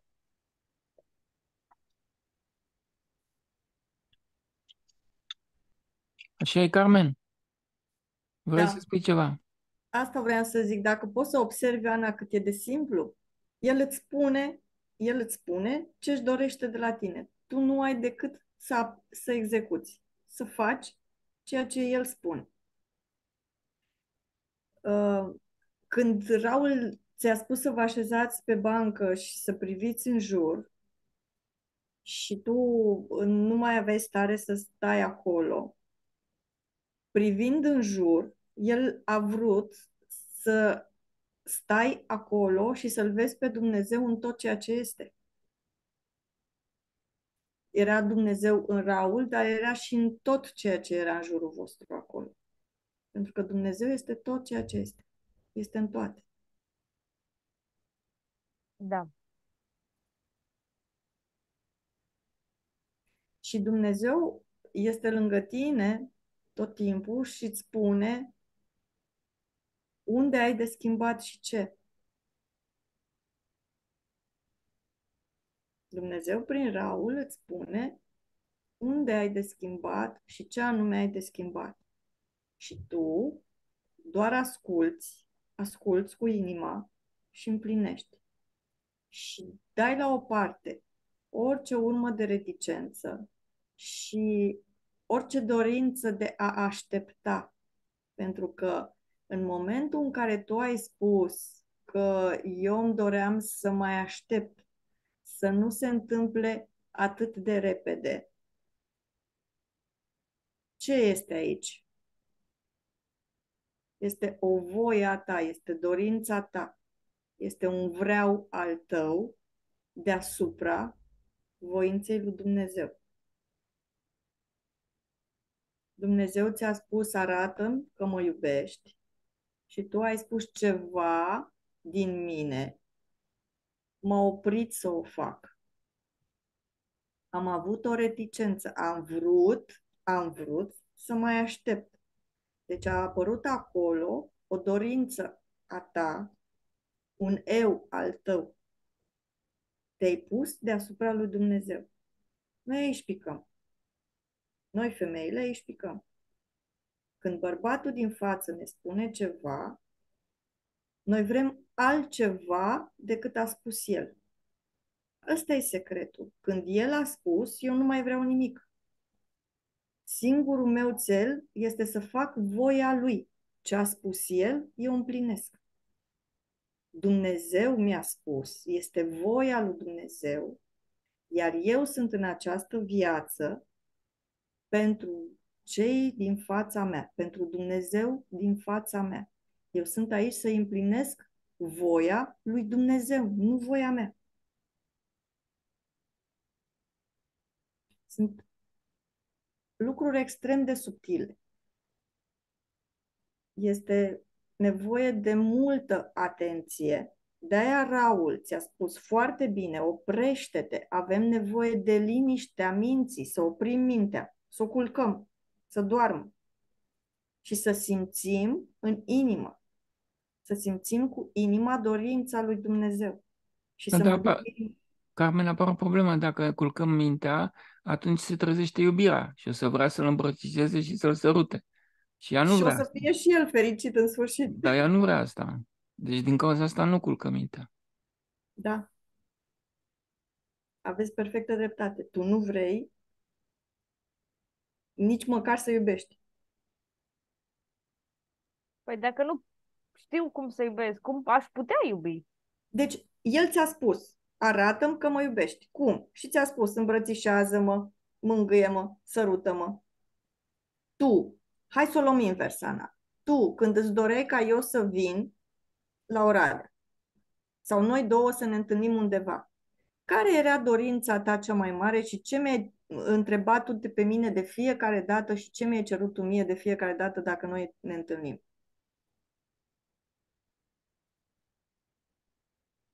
Ce să fac eu pentru tine? Dacă vii, nu te las să dormi în altă parte la Oradea, vii să... Să dorm la mine. Și dacă dormi la mine, ce să-ți fac eu?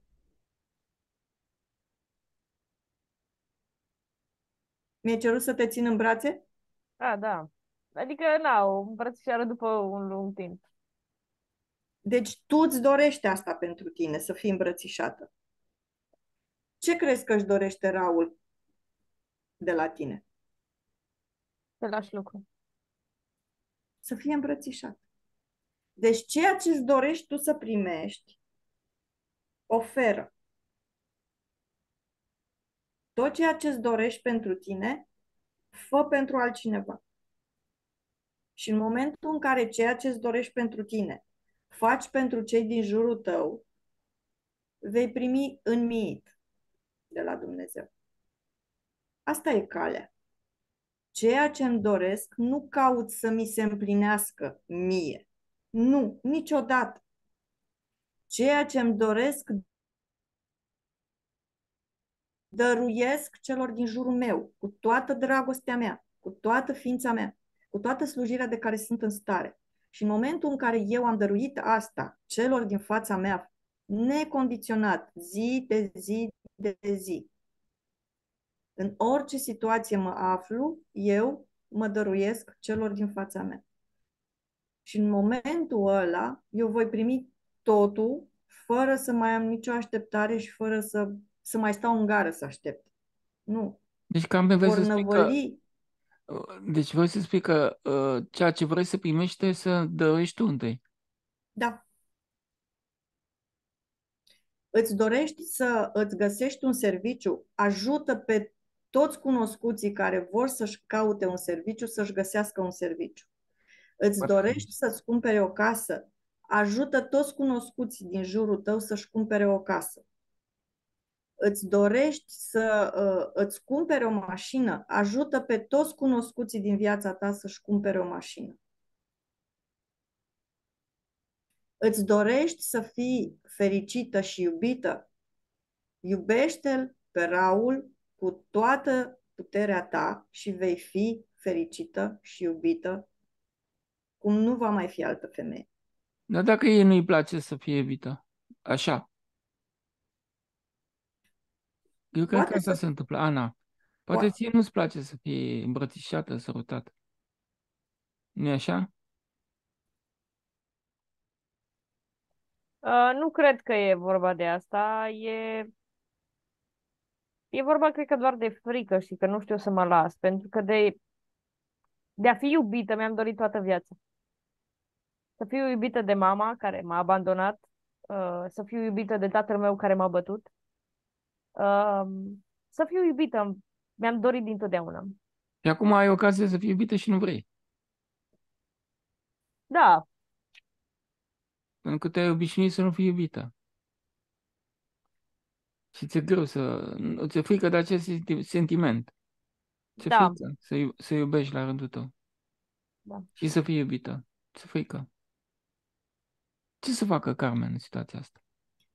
Uh, Știți, am, am, am constatat zilele astea, discutând și cu altcineva, uh, că noi avem uh, un program uh, extrem de periculos, foarte mulți dintre noi. Nu știu dacă și uh, Ana și Raul îl au, dar am, l-am constatat la foarte multă lume. Noi avem programul ăsta să punem întotdeauna răul în față. Când pui întotdeauna răul în față, noi, noi, tu, tu întotdeauna mergi în față. Uite, Raul acum merge, el merge în față, merge înainte. Dacă pui răul în față, tu către ce mergi? Către rău. Nu, nu pui întotdeauna răul în față. Pui în, în fața ta întotdeauna iubirea și pe Dumnezeu. Eu către ce merg? Merg către cel din fața mea. În fața mea întotdeauna este Dumnezeu, pentru că tot ceea ce este, este Dumnezeu. Și dacă eu merg către Dumnezeu și merg cu iubire,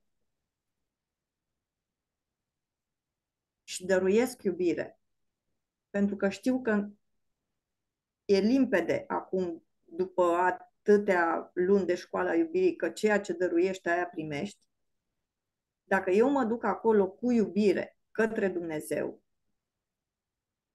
nu o să primesc uh, altceva, nu o să primesc ură. Și mai mult de atât, Dumnezeu, în mărinimia Lui, a fost atât de bun și generos cu mine, încât a venit El și mi-a spus întâi că mă iubește și mă acceptă așa cum sunt. Deci, acea siguranță pe care noi femeile o căutăm, tu ai primit-o deja. Ție Dumnezeu ți-a spus, eu sunt aici pentru tine, cu toată iubirea mea și te accept așa cum ești, cu ego-ul al tău imens. Și sunt dispus să mă sacrific eu pe mine și să fug de fiecare dată când tu mă otrăvești.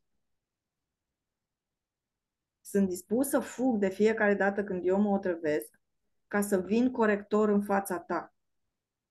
Dumnezeu deja a făcut sacrificii de trei ori pentru tine. Cam cât ar trebui să mai facă Dumnezeu ca tu să înțelegi că e acolo pentru tine cu toată iubirea ta și îți acordă toată siguranța.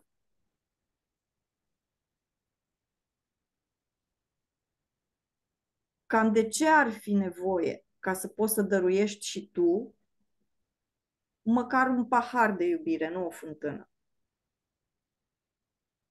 Dăruiește azi un pahar, mâine o cană, poi mâine o carafă, până ajungi la găleată și, pe urmă, lasă-l să se adapte din fântâna iubirii tale cu totul. Uh, hai să vedem uh, un lucru, Ana. Nu, nu te mai tot închide acolo. Vezi, tot timpul e mișcarea asta, închide, închide, închide. Deci tu, primul gest e de închidere. Uite la noi, noi suntem tot timpul deschiși. Și răul se închide. Eu stau într-o zonă mai industrială și și dat trecută s-a auzit. Uh, nu s-a auzit, lasă, lasă, nu se aude. Okay. Că e filtru la microfon. Uh, de zgomot ambiental. Uh, care sunt problemele? Ce ți-a lipsit ție în viață? Ți-a lipsit siguranța, stabilitatea, am înțeles, și dragostea. Asta da. în traducere înseamnă că vrei o căsătorie, vrei, vrei, uh, deci pentru tine căsătoria înseamnă uh, o stabilitate, o garanție de siguranță. Și probabil din cauza asta nu te poți dări cu totul pentru că nu ai siguranță. Da? Ai putea să stai cu Raul fără să existe căsătorie? Am încercat să stau cu el. Lasă, nu așa. Adică l-am primit în casa mea. Ai putea uh, să stai așa o viață întreagă cu el fără să te căsătorești? În acest moment în care vorbim, și vă spun cu toată deschiderea și cu toate discuțiile pe care le-am avut în personal cu Carmen, uh, am încercat să mă deschid mai mult și să mă vulnerabilizez și ca să vă răspund la întrebare, da. Toată viața? Da. Mamă, Raul, ai auzit? Știți de ce spun asta? Da. Haideți, Raul, permitem te rog acum să nu te superi pe mine. A fost într-o seară în care uh, Raul s-a jertfit pentru mine într-un mod extraordinar. Și Carmen știe asta. Uh, și a venit la 12 noaptea la mine. Și și-a asumat un rol. Rolul de a mă cere pe mine în căsătorie, pentru că așa a vrut ego-ul meu. da, Raul, mulțumesc. Uh, așa. Și a făcut doar ca să mă simt eu mai bine. Și uh, în seara aia, tot în seara aceea, Divinu a zis că dormim separați. Dar eu, ego din mine, a spus, eu vreau să simt mai mult că bărbatul mă iubește. Și l-am întrebat pe Raul, pot să vin să dorm lângă tine în pat? De ce? De ce nu am făcut supunere? Când băr- Divinul mi-a spus foarte clar, uh, dormim în paturi separate. Eu de ce am căutat mai mult? Și de, acum înțeleg și de asta v-am răspuns atât de sincer la întrebarea dumneavoastră. De ce eu am nevoie să simt această siguranță? Adică de ce ajutați-mă, vă rog, să înțeleg de ce ego-ul meu uh, vrea să simtă întâi stabilitatea asta ca apoi să se poată lăsa profund. Păi n-ai avut-o. Nu ai avut-o. Ai fost părăsită la casa de copii? Nu ai avut-o. Și Mm. o- o prețuiești foarte mult. Crezi că dacă ai stabilitatea asta, ai tot. Nu e adevărat. Da. Uh, Cea mai frumoasă relație este cea care nu are uh, un statut de căsătorie pe acte. Da, e cea cerească. Am, uh, am, E cea am cerească. vorbit, da, am vorbit despre câte de ea. Pentru că ai nesiguranță maximă și atunci faci tot posibilul să o susții. Da. Pe când cealaltă este cu pretenții, cu pretenții, cu supărări, cu critică. Asta i-am spus și eu, Marius, că la, la ce atâtea hârtii, la ce, la ce inelul ăla dacă tu tot nu iubești? Adică pe mine nu mă interesează actele alea, nu mă interesează inelul, ci, ci să văd că mă iubești. Asta mă interesează. Și mai mult să faci asta toată viața, Ana. Sunt aici, sunt a ta, acum ai revenit și nu te mai las să pleci.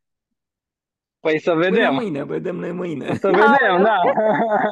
Nu, nu, nu. Mâine sunt la muncă, mâine sunt la muncă, Când vii dar de la muncă. dimineața te aștept. Mai vedem. Dacă îl Ușor, iubești, ușor de zis, greu de făcut, asta e. să-l iubești cu adevărat înseamnă să ai încredere și să-l lași să plece și să uh, vină atunci când vrea el. Niciodată nu l-am oprit, Carmen, să plece când a simțit. L-am Știu? lăsat de fiecare dată. Pentru că Astăzi, astăzi m-ai oprit, ai zis să nu plec. Când ți-am spus că sunt uh, plictisit am și că nu mai încercat, pot să, să stau. am încercat pentru că te-am văzut într-o stare foarte low, adică foarte joasă și nu știam ce să fac. Am încercat să te îmbrățișez, să te fac să te simți mai bine și am zis tu pleca. Zic, mă gândeam că dacă îi zic nu pleca, Lași în pace, probabil, dacă el vrea să plătesc. Dar nu, da. Da, eu am simțit să plec și trebuia să mă lași să plec, adică să nu mai încerc să forțez acolo nota, că iar a fost voia ta peste voia divină. El fiind Dumnezeu lângă tine. Și Și ai mai văzut că oricum am plecat.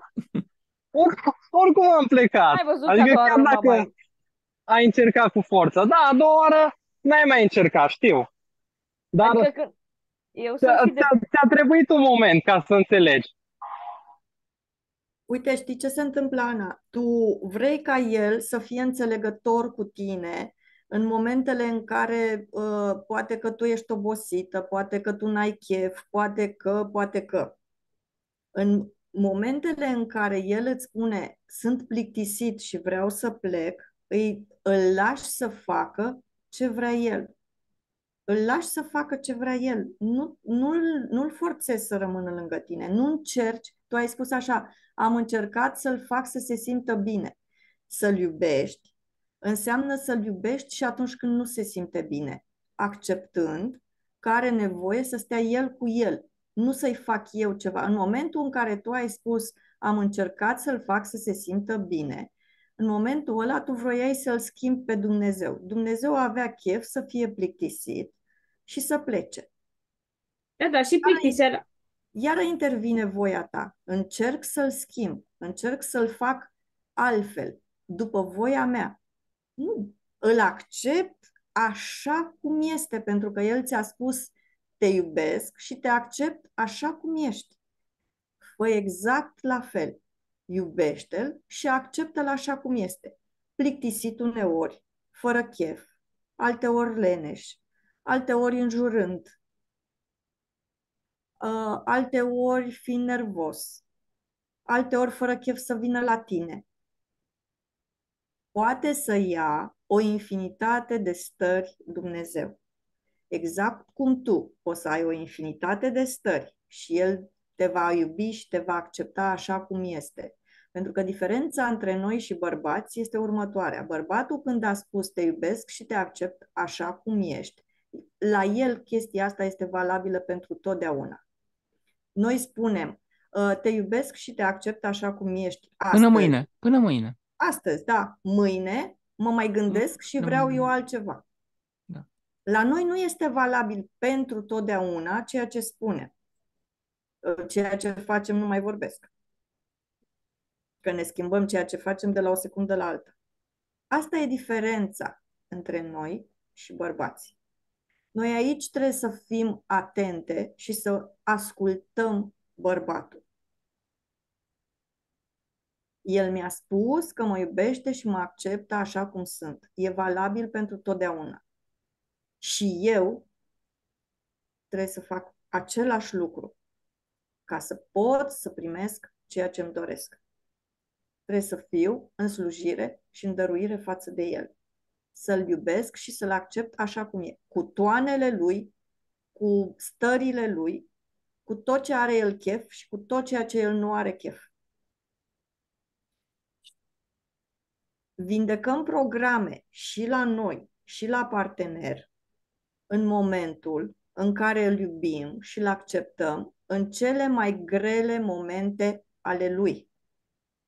Când femeia este în iubire totală lângă bărbatul ei, în momentul în care lui este cel mai greu moment în viață, când el ne-a făcut nouă, uh, ne-a produs nouă cea mai mare suferință, când ceea ce el a făcut, ne-a făcut nouă, ne doare cel mai tare.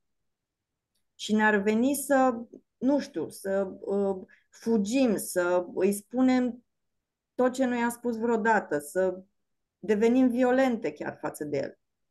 În momentul ăla, dacă noi reușim să fim în iubire și să-i spunem te iert, înțeleg de ce ai făcut-o, nu sunt supărată pe, mine, pe tine și te iubesc în continuare, la fel ca și până acum. În momentul ăla, ai șters programe și de la el și de la tine. Acceptă-l așa cum este și iubește-l așa cum este când e plictisit, când nu are chef. Și în momentul ăla, ștergi și de la tine, ștergi și de la el. Da, uite, și, și chestia asta cu iertare e la fel un concept. Adică ce să iert la celălalt dacă totul a venit din mine? Eu l-am obligat pe celălalt să-și ia un rol ca să mă scadă pe mine și să mă ducă în iubire orice ar fi. Da, asta am spus. Am, am, am zis pe urmă să, să, să nu se supere, în, în sensul ăsta că să nu fie nego, să iasă din ego și să intre în, în divin. Să te accepte, să accepte că ceea ce e acolo e perfect așa cum este. Păi să, să-și ceară scuze și să înțeleagă că din ea a pornit și că bărbatul nu-i vinovat cu absolut nimic. Da. Adică să nu mai arunce vina în afară.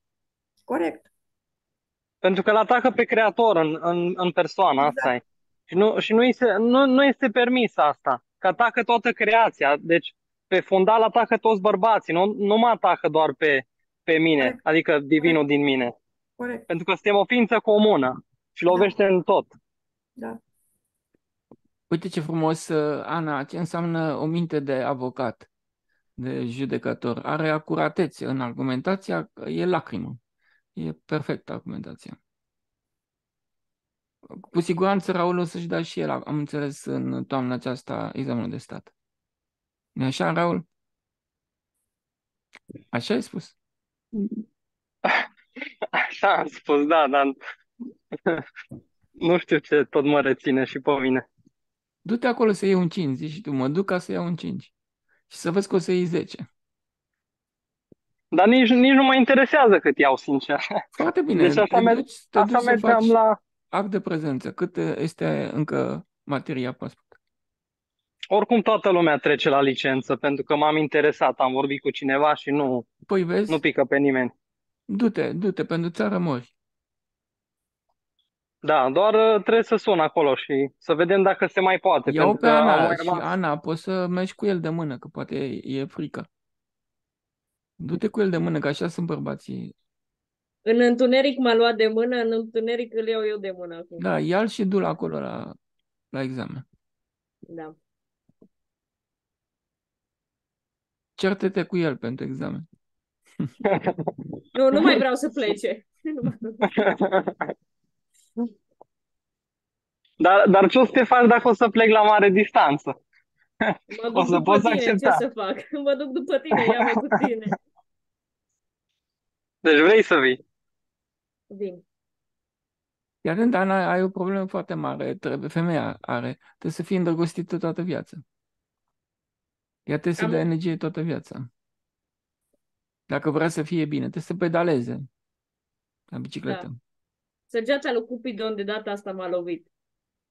Ca și biciclistul ăla pe care l-ai văzut, Marius, în lumea de dincolo, Da. cu farul. Tot, Când, tot, când se stingea farul, adică ți arăta că gata, de acolo începe moartea. exact. N-ai voie Că să nu te dai oprești. energie. N-ai, Da. Trebuie să dai tot timpul energie. Păi Uite, soarele asta face, e ca un biciclist.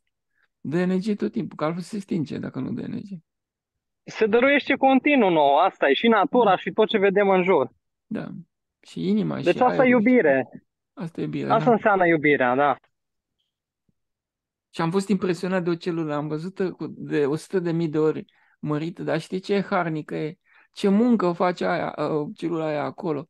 Uh, Mi s-a părut ceva fantastic, știi? Și se dăruiește așa, singură. Uh, Fantastică. De, de, Se nu stă dăruiește niciodată. pentru cealaltă. Nu se Da, să odihnește. curețe. Da, nu se odihnește niciodată. Sacrificiul e maxim, e la fel ca soarele. Avem un soare noi și nu știm.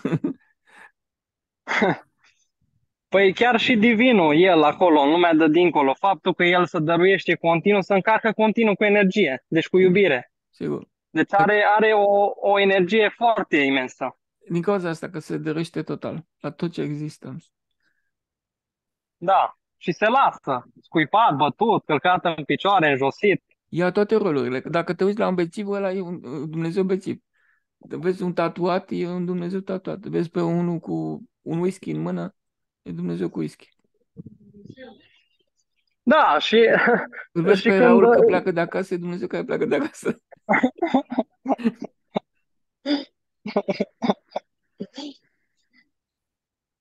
Și când îl auzi pe, pe, di- pe divinul străzii, ce, ce lucruri profunde spune. Și lucrul ăsta, uh, deci eu am stat așa uh, cu anumiți Dumnezei străzii vreo 3-4 ore doar să-i ascult. Deci doar Mhm. să-i ascult. Deci fantastic, deci mi-a căzut mentalul, m-am încărcat cu atâta energie și atâta bucurie Trebuia și să-i efectiv, înregistrezi. Nu- nu te- da, da, nu m-am gândit atunci pe Mai moment. du-te, mai du-te pe la ei pe acolo, mai provoacă-i. O să-i mai provoc dacă mă mai întâlnesc cu ei. Dar sunt incredibil, deci de o simplitate incredibilă. Unul dintre ei chiar mi-a spus că a pierdut tot, a ajuns pe stradă și l-am întrebat dacă ar mai vrea să, să se întoarcă înapoi, adică să, să primească înapoi casa, mașini și ce-o mai avut el. Să că niciodată. Pentru că adevărata fericire e că nu ai nimic. Și Mamă, atunci el, el, el era foarte fericit, pentru că nu mai avea nimic. I s-a luat totul. A, a zis că au venit odată doi oameni la el uh, și a vrut să, să-l omoare cu un cuțit. Și el ce-a făcut? Și-a predat viața efectiv. Deci nu n-a ripostat, n-a acționat absolut nimic. După care au venit doi oameni uh, și i-au oprit pe aia doi care voiau să-l omoare. Deci de aici arată faptul că cedarea noastră e intrarea în divin și atunci divinul te ocrotește. bă, e cea mai mare apărare. Da, deci nu să te lupți. Pentru că dacă te lupți, vei fi omorât. Da. Ce frumos. Carmen, văd că ești uh, meditativă. Da. Uh, Îl ascultam cu foarte mare încântare pe, pe Raul. Uh, Nu, Ana nu are decât de, de aplicat ceea ce știe deja, de pus în comportamentul ei ceea ce știe foarte bine și să își dea voie să iubească fără frică, fără reținere. Numai așa, numai făcând ceea ce n-ai făcut niciodată, poți să obții ceea ce n-ai avut niciodată. Dacă vei continua să faci fix ce ai făcut până acum, uh, nu, nu vei schimba rezultatul. Va fi fix ce ai avut până acum. Dacă vrei să fie uh, o relație uh, împlinitoare pentru voi doi, trebuie să faci fix ceea ce n-ai făcut până acum. E care e problema la femeie? uh, ea știe că are ce 80% și Dumnezeu uh, a destinat-o, i-a dat ca destin să slujească tot timpul bărbatul. Aici nu poate, nu poate să slujească, să-l servească toată viața. Aici este acest legământ de slujire, nu poate să-l facă. Da, pentru că... Sau îl face condiționat. Da, Da. nu merge. Pentru că se identifică cu ego și nu înțelegem că suntem ființe divine, nu suntem uh, uh, ego și nu suntem corpul. Nu, nu, ne e foarte greu să acceptăm ideea asta că sun- suntem ființe divine și că prin noi se manifestă Dumnezeu și că în fața noastră este Dumnezeu, nu este uh, altcineva. Aici e, e m, greu de integrat și de acceptat noțiunea asta. Că totul în jurul nostru este Dumnezeu și noi suntem aici pentru Dumnezeu, nu pentru noi.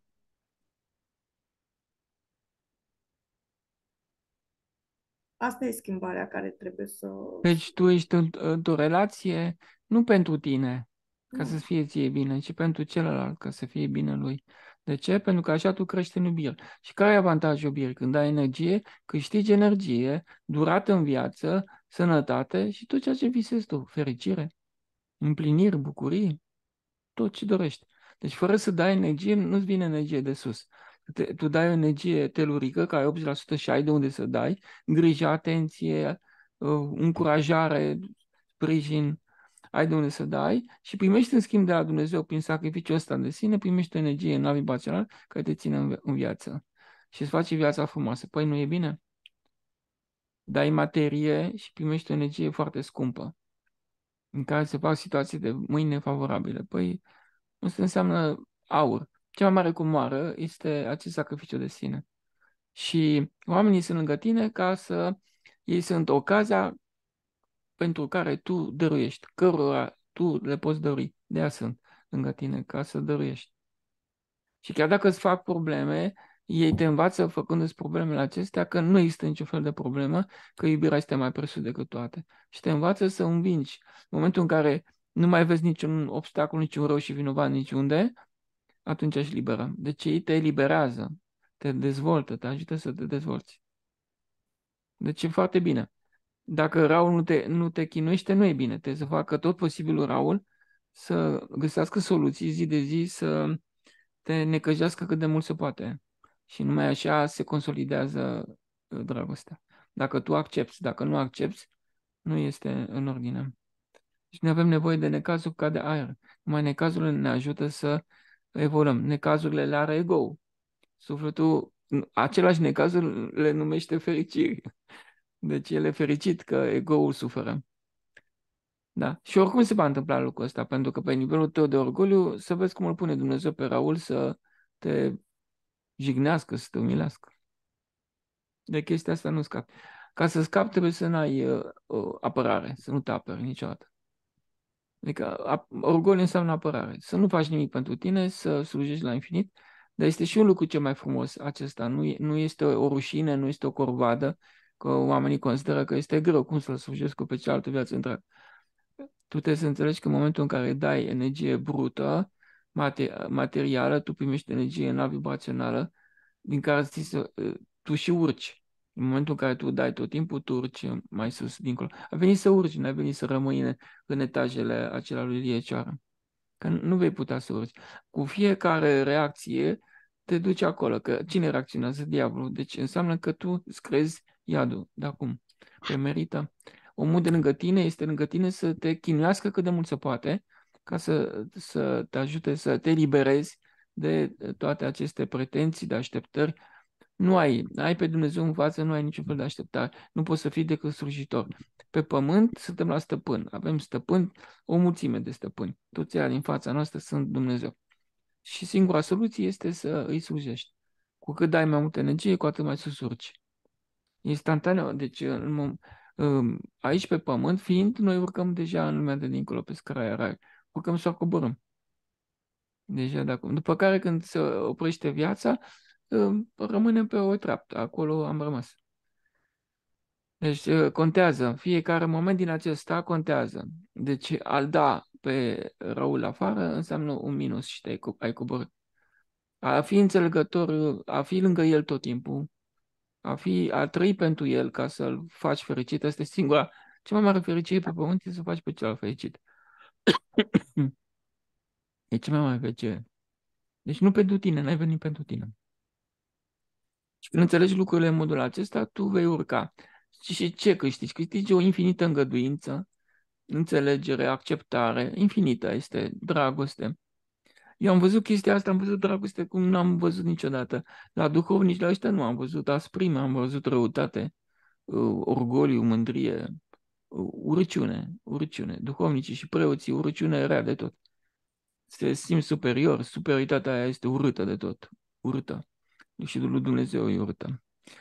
Și a venit la mine la plafar, am povestit odată o, o doamnă care fusese în al doilea război mondial uh, soră de caritate pe, pe mașinile care se duceau în față, în front și luau uh, răniții și îi duceau în spate, în spitale.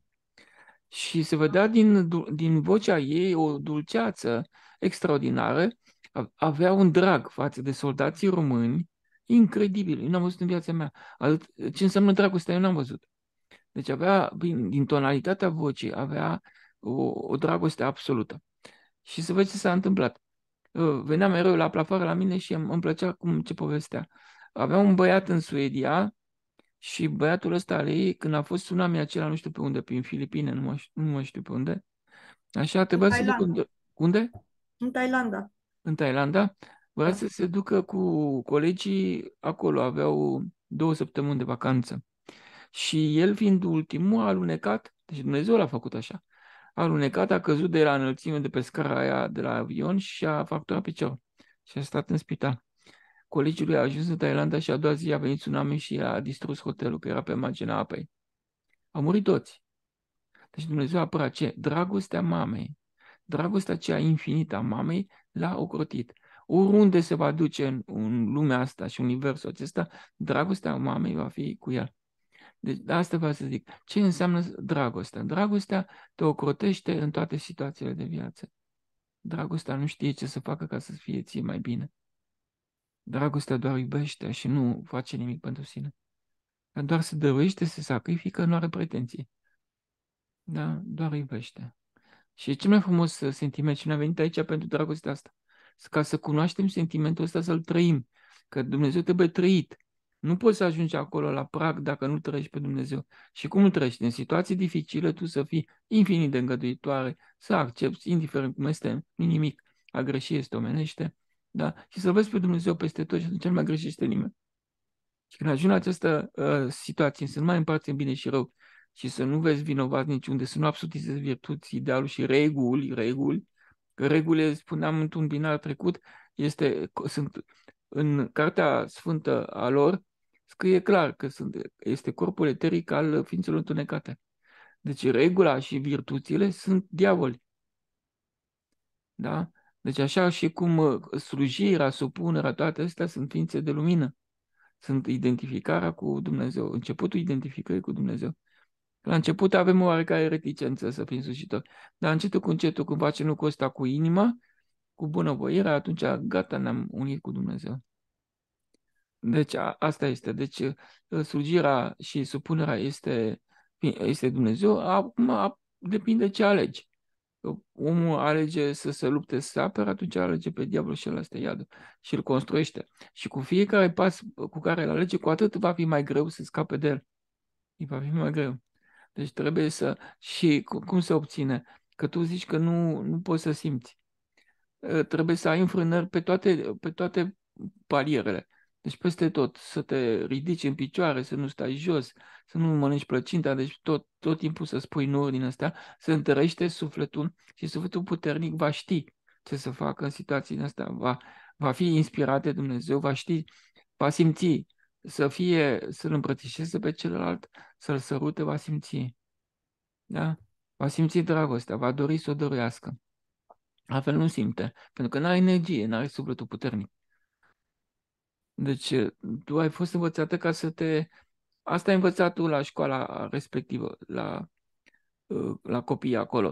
Să te zbați pentru viața ta. Ai fost singură și te-ai zbătut pentru viața ta. Ți-ai, uh, mărit calitățile intelectuale extraordinar de mult. Ai toată puterea să, să împlinești lucruri. Dar nu este suficient. Ă, ăstea te ajută doar local. Iubirea este cea care te ajută pe, în perspectivă. Deci fără iubire nu o să poți să... Că e vorba de sufletul ăsta, sufletul trebuie să fie puternic ca să poți să ți se împlinească lucruri în viitor, altfel vei fi nefericită tot timpul. Deci ca să fii fericită, tu trebuie să ai o jefă de sine continuu. Și Raul e lângă tine pentru asta. Face experiențe pe el. Face experiențe pe el. ai grijă de el, îl susții.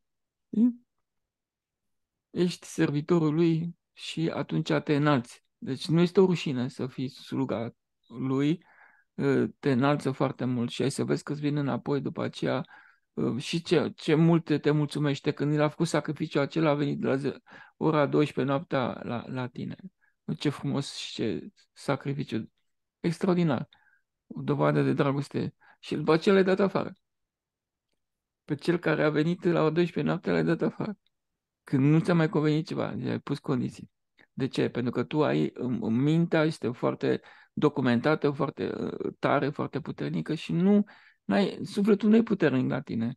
Tu trebuie să faci mereu tot felul de gisturi de ascultare, de sacrificiu de tine, de jertfă, ca să poți să se întărească sufletul, ca să poți să simți iubirea. Nu ai cum să simți altfel.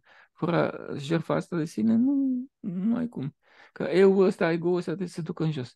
Deci mintea este foarte puternică. Și să faci ce te îndeamnă Raul, te îndeamnă bine. Uite, mergi în parc, stai și te uiți. De, de ce a zis asta Dumnezeu? Te-a luat de mână și a zis mergem în parc și ne uităm la oameni. Ca, ca să scade mentalul, că este foarte agitat. Vrea, vrea să ordoneze.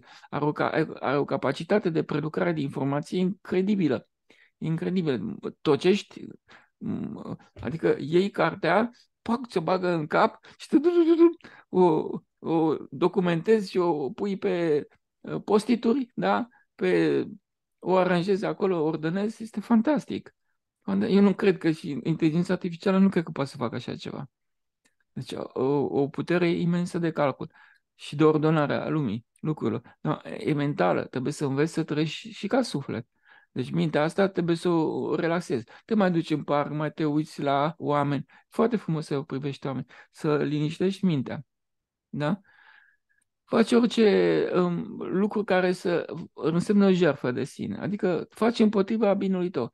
Că tu zici, mie nu-mi place. Lasă pe ăsta care nu-mi place, trebuie să-l distrugi. Știi, trebuie să-ți placă orice. Tot ce vine din față vine de la divin și dacă divinul consideră și zice, hai în parc sau hai nu știu unde, te ridică și ai făcut. Ce zice? Că, că dacă nu faci chestia asta, ă, prețul, la Vechiul Testament am fost primit. Prețul, dacă nu respecti, e moartea. Deci am zis, ia uite-te mai pentru lucru, noi aparent zice că de nimic. Nu? Că nu respectăm poruncile lui, că facem idolatrie, prețul e moartea. Întâi e robia, după care este moartea. Deci nu, nu e de glumă cu chestiile acestea. Atâta situații sunt în care femeile nu au putut să iubească, au urât bărbatul, s-a trezit cu cancer la sân sau can- cancer genital. Pentru că au fost intolerante și au fost incapabile total, total să iubească sau să accepte situațiile în care au fost băgate. Când au fost băgate de oameni, aceia au fost băgate de Dumnezeu în situații dificile ca să-i purifice uh, inima, să-i curețe inima și să-i distrugă ego De aceea, noi ar trebui să fim bucuroși când vine cazul și ne calcă oamenii în picioare, să fim bucuroși că începe reglarea prin oameni, că dacă noi refuzăm și respingem pe oameni, că ai făcut respingere față de ei, de Raul, când îi respingi pe oameni, te poți trezi după aceea cu boli, îți intri pe, pe palierul de boli. Care zice, măi, am cercat prin oameni și n-am putut să te înfrâng, da? N-ai, n-ai nevoie de mintea aia puternică.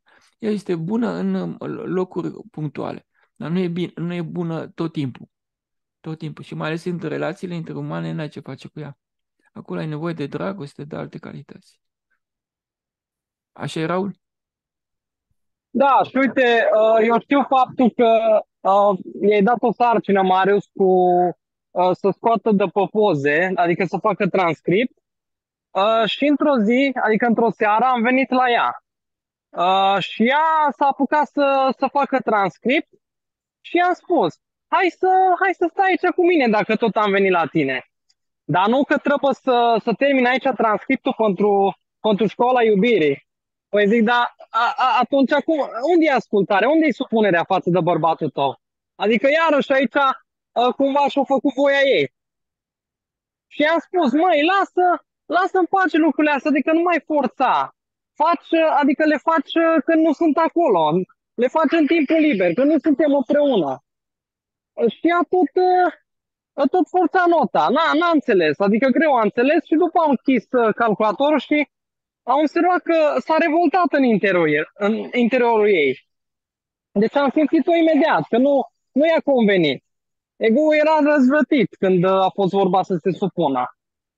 Și am spus, nu, nu mai forța lucrurile, nu mai ai răbdare, adică nu poți să faci toate transcripturile alea peste noapte. Păi, Întreabă, întreabă și cu Marius. I-am spus să, să te întrebe Marius. Uite, Ana, ai un maestru, eu, e unul dintre cei mai mari maestri. Și o să vezi tu în viitor, că nu glumesc ce zic. Gratis te conciliază, gratis. Normal ar trebui să-ți ceară bani pentru ceea ce... pentru lucrurile astea care te învață. Da, dar nu cer nimic Marius. Uite, nu și Carmen este, ca... cunoaște foarte multe lucruri. N-am nevoie de nimic din lumea asta, Marius. Deci de când am ajuns la învățături, nu, nu mai întrebă nimic. Uite, le dau pe toate. Și, și haine, ce am avut acum surplus în ultima perioadă, am știut că încă mai am de dat. Și automat l-am lăsat pe divin să vină din față să-mi ceară și Uh, și m-am dus, adică am acceptat, nu, nu mi-am căutat binele. Deci totul pentru ceilalți. Și ca să dau două exemple, uh, ca să vedeți iubirea pe care o dai tu, cum îți vine înapoi. Uh, asta e, deci experiența asta e de mai de mult. Mergeam așa pe teren și m-am întâlnit cu, cu un Dumnezeu care lucra uh, la o firmă de salubritate, adică mătura străzile și mi-a cerut, uh, mi-a cerut niște bănuți. Uh, faptul că i-am dat atunci bănuți și am cedat, uh, sau nu, a avut nevoie de mâncare, era foame. M-am dus și am cumpărat ceva de mâncare. Deci faptul că i-am luat atunci mâncare, următoarea zi, când m-am întâlnit cu el din nou acolo în centru, m-a chemat să stau cu el acolo să mănânc. Deci am împărțit sandwich cu mine. Deci asta înseamnă iubire. Deci tu când dai, când dai iubire, automat îți vine înapoi. Dacă nu dai, atunci ce să primești? Mm. Și al doilea exemplu, uh, știi și tu faza asta, Ana, că am fost cu tine. Când am fost atunci la Penny și a plouat torențial. Știi? Și n-am avut umbrelă, n-am avut nimic. Și trebuia să mergem la schimbul valutar, să schimbăm ție bănuții. Și Uh, eu am rămas acolo, am zis hai să rămânem aici, totuși că poate se oprește. Uh, și era acolo un Dumnezeu care avea o geacă pe el. Deci el imediat s-a dezbrăcat și a zis, uite, îți dau geaca, ia-o de tot, nu mi mai trebuie. Doar ca să știu, să mă asigur că tu, tu nu o să te uzi. Și mi-am dat seama, deci fantastic, câtă iubire acolo. Deci de la oamenii ăștia avem ce să învățăm. Oamenii străzii, care sunt simpli, sunt jos de tot ăștia îl au pe Dumnezeu. Nu când ai case, vile, mașini și tot felul. Bani, bogății, astea zero barat. Doar te trag în jos în lumea de dincolo. Îți mănâncă din energia vieții, nu poți să urci. Așa este. Deci am înțeles, Raul, că pentru te jerfești pentru oameni și dai examenul de stat. Da. Mă jerfesc da. continuu. Chiar dacă nu am un loc de muncă, să știi că îmi vin uh, solicitări din față uh, și pe teren când mă duc, mă las continuu pentru ceilalți. Deci nu, nu, nu-mi caut voia, pentru că știu că dacă îmi caut voia, voi suferi. Așa este. Deci îți dai examenul de stat pentru oameni, ca să le, să le să ajuți pe ei. Să-i ajut, exact. Foarte bine. Asta vreau. Pentru că știu că de asta am venit pe, pe planul ăsta. Să-i ajut pe ceilalți, să fac totul pentru ceilalți să nu mai fac voia mea, pentru că m-am, m-am, m-am, m-am săturat și eu, sincer, cât mi-am făcut voia. Înnebunești la un moment dat. Dacă doar stai și nu faci nimic, nu slujești oamenii, e razna cu totul. Raul, am o întrebare. Ce vrea să, cum ai vrea să se poarte Ana cu tine, Maria? Păi i-am spus, să, să vină de jos în sus spre mine, să mă iubească, să, să mă accepte așa cum sunt. Să te respecte. În, în, tot, să mă respecte în toate modurile posibile. Adică, indiferent ce rol iau, ea să mă, să mă accepte așa cum îs. Să te întrebe un joc. cum, cum fac asta, cum fac asta, da? Da, să mă întrebe mereu. Și, uh, și cu gestiunea banilor, la fel, să lase banii pe mâna mea, Corect. ca să administrez eu. Pentru că la, la bărbat trebuie să fie tot, uh, tot monetarul ăsta. Corect. Ce frumos. Și la fel, uh, niște gesturi de-astea simple, care în ochii bărbatului sunt, sunt uriașe. Să-mi aducă un pahar cu apă dacă îi cer. Ceea ce a făcut uh, zilele astea. Deci nu pot să zic că n-a făcut. Să, dacă o trimit la magazin, să meargă. Uh, dacă îi spun să, să-mi ducă telefonul să-l bage la încărcat, să se lase și să meargă. Adică orice gest de ăsta, care, cum spuneam, pare mic, e uriaș în fața lui Dumnezeu. Corect. Și a- automat uh, simți uh, cum, cum, cum ne încarcă pe amândoi. Deci erau nopți când uh, ea aplica lucrurile, nu puteam să dorm noapte, atâta, așa m-a încărcat. Și am spus, uite, ai văzut? Fă și tu cumva uh, o distinție de ceea ce făceai în trecut și unde a dus. Adică ceea ce făceai în trecut, făceai de ego și ducea la suferință, da?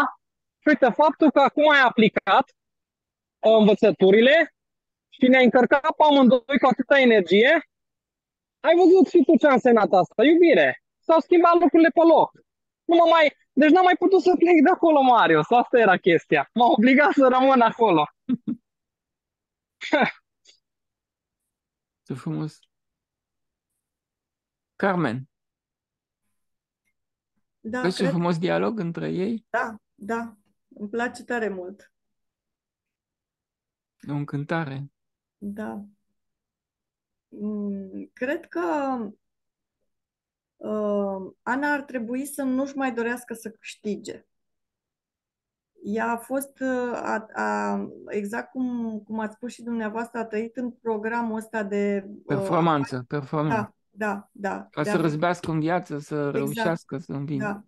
Și de aici îi vine Să ei scape de dorința- sărăcie, de nesiguranță. Da, da. Și de aici îi vine dorința asta de a face tot timpul ceva și de a face mai mult și de a fi cea mai bună în ceea ce face și de a câștiga. Pentru noi, pentru școala e foarte bine. Da, acolo da. Dar nu trebuie să, să, să-și dorească să mai câștige și să, să nu mai vrea să aibă dreptate. Asta e tot? Da, e simplu. Dacă Rău? le, aplic, le aplică pe astea, de aici încolo vine totul de la sine. Raul, ce ar trebui să facă Maria? Să se lase continuu, să accepte tot ce vine din față. Pentru că doar asta scade ego când ne, când ne lăsăm în fața divinului. Dacă nu te lași, adică uh, continuu vrei să te lupți cu celălalt și, și nu cedezi, atunci doar îți întărești orgoliu și chem din față ceva care, care să te scadă. Și cum ai spus și tu, că poate să vină și boală, poate să, fie, poate să vină orice. Astea sunt deja adver- a- avertizmente foarte mari, pentru că te-ai îndepărtat foarte mult de divin. Și atunci el, ca să salveze sufletul, de asta îți trimite o boală, ca să-ți mai dea o porție de energie, că altfel ai muri. Ce frumos. Deci continuu să sacrifică pentru noi, asta e. Deci intră în iad, își ia toate rolurile posibile, își, își pierde energia pentru noi, doar ca să ne ajute pe noi să evoluăm spiritual și să urcăm în lumea de dincolo. Corect. Și Raul e un înger foarte înalt ca să poată să te chinuiască pe tine, îți dai seama de unde vine. E mult mai sus decât tine. De aici știi. Deci cel care te chinuiește este foarte sus. Că el, îți dai seama, el se sacrifică pe sine, dar în același timp trebuie să ajungă tot acolo de unde a plecat. Să nu, să nu decadă. Păi de asta, de asta să afară acum, merg pe jos. Deci el se străduiește să se întoarcă tot acolo de unde a venit. Da, și nu, nu, nu ne este ușor, adică din ambele poziții. Eu înțeleg că nici femeii nu, nu este ușor, pentru că are energia asta foarte mare și având uh, foarte multe programe în spate, uh, într-adevăr, ego-ul este foarte răzvrătit și atunci îi trebuie o perioadă mai îndelungată ca să, ca să fie scăzut. Păi, De uh, lăsare de asta de sine, cât mai mică, uh, vei ajunge să poți să te lași și la cele mai mari. Pentru că te încarci cu energie și atunci ai forță. Și respingi uh, și plăcerile lumii. Iar lăsarea de sine este iubire. Că te întrebai de ce nu poți să iubești, pentru că nu te lași pe tine. Da, e, e N-ai chiar forță. divinul. E chiar divinul, nu ai forță. Trebuie exersat lucrul ăsta. Tot timpul te Nu are lași. forță sufletul. Exact. Te duci la, la, Raul, la Raul mereu și îi spui, stăpâne, ce... ce dorești? Stăpânul meu.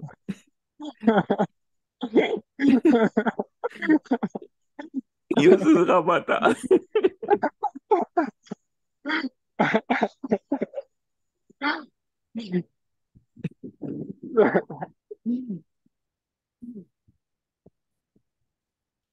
Da. Carmen, vrei să spui ceva? Am înțeles.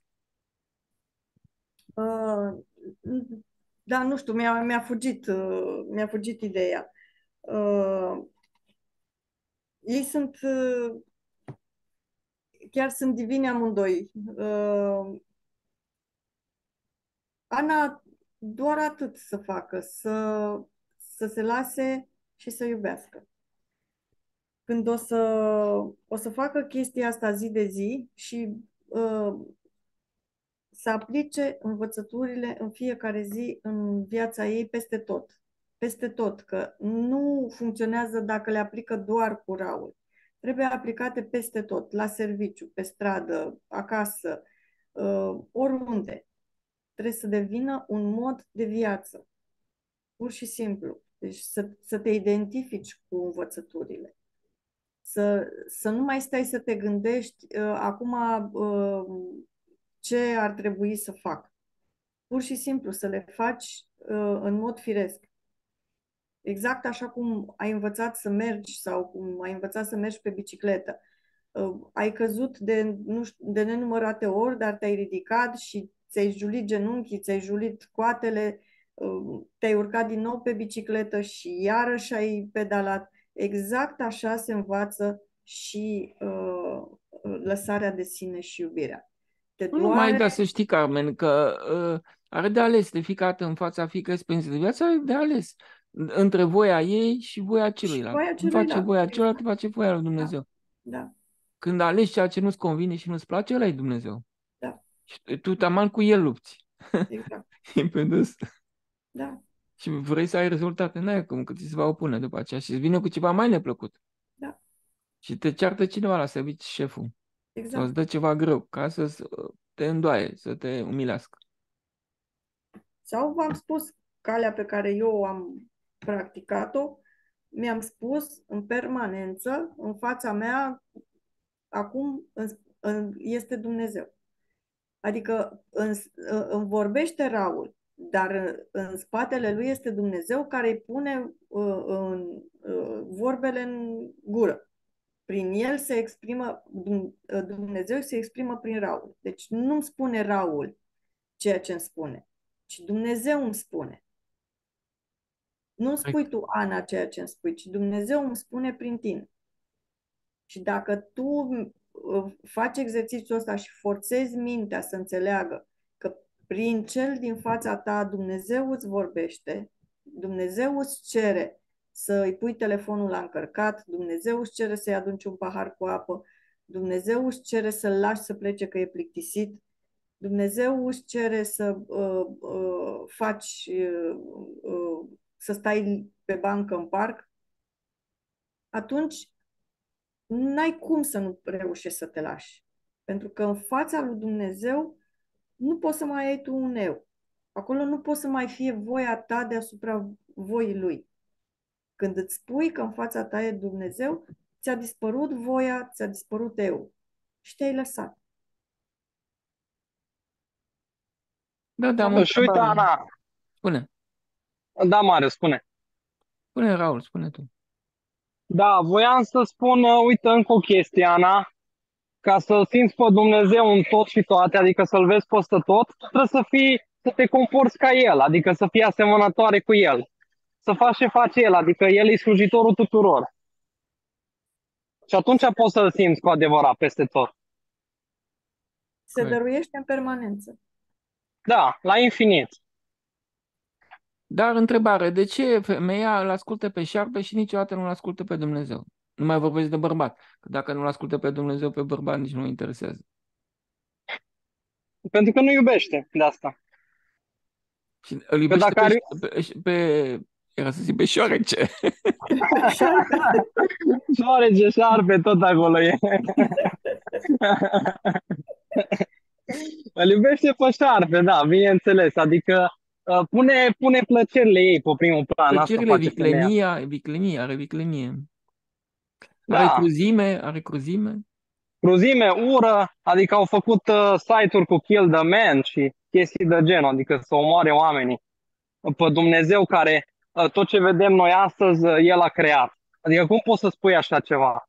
Deci foarte, foarte josnic. Unde am ajuns?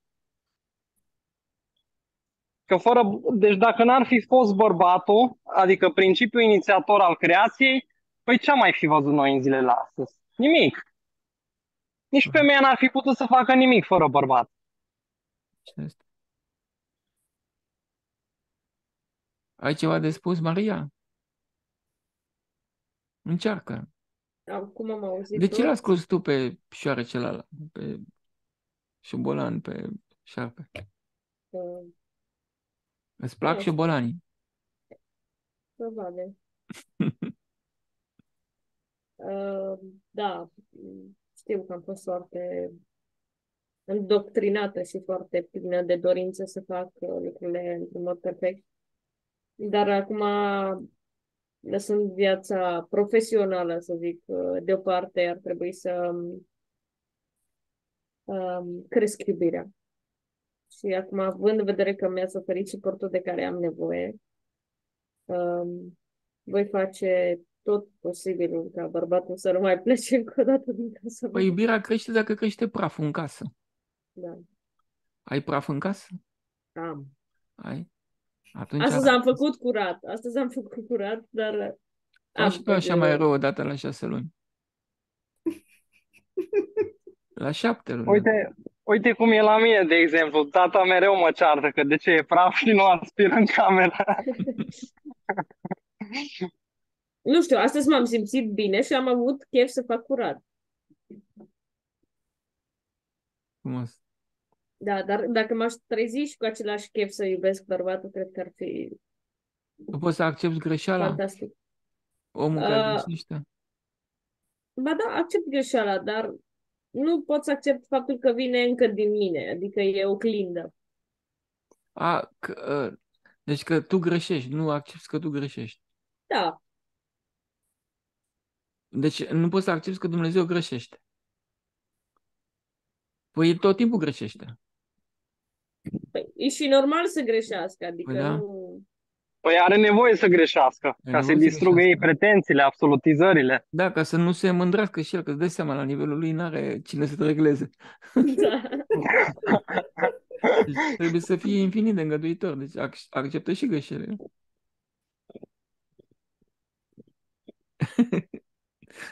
Da. Mai greuț pentru că, te rog, Dacă, dacă și greșeala e perfectă, atunci ce să mai spune? Că vine tot de la divin. Da. Nu Și rămâne el- decât să mă lăudați, face. Da, deci nu există ceva care să nu, să nu, să nu facă el perfect. Exact. Și nu e liberatoare această înțelegere. Deci înțelege care blochează judecata, critica, acuzația, învinirea și, s- și uh, ura, mânia, furia și ura, este de fapt adevărată. Este adevărul. Este divinul. Da, pentru că simți, simți în interior că te cuprinde o stare de pace, de liniște în momentul în care inversezi în, în Nu te interiorul mai tău simți lucrurile astea. vinovat. Păi, ai, dacă ai Da. ascultat, ascult și tu raurile astea religioase?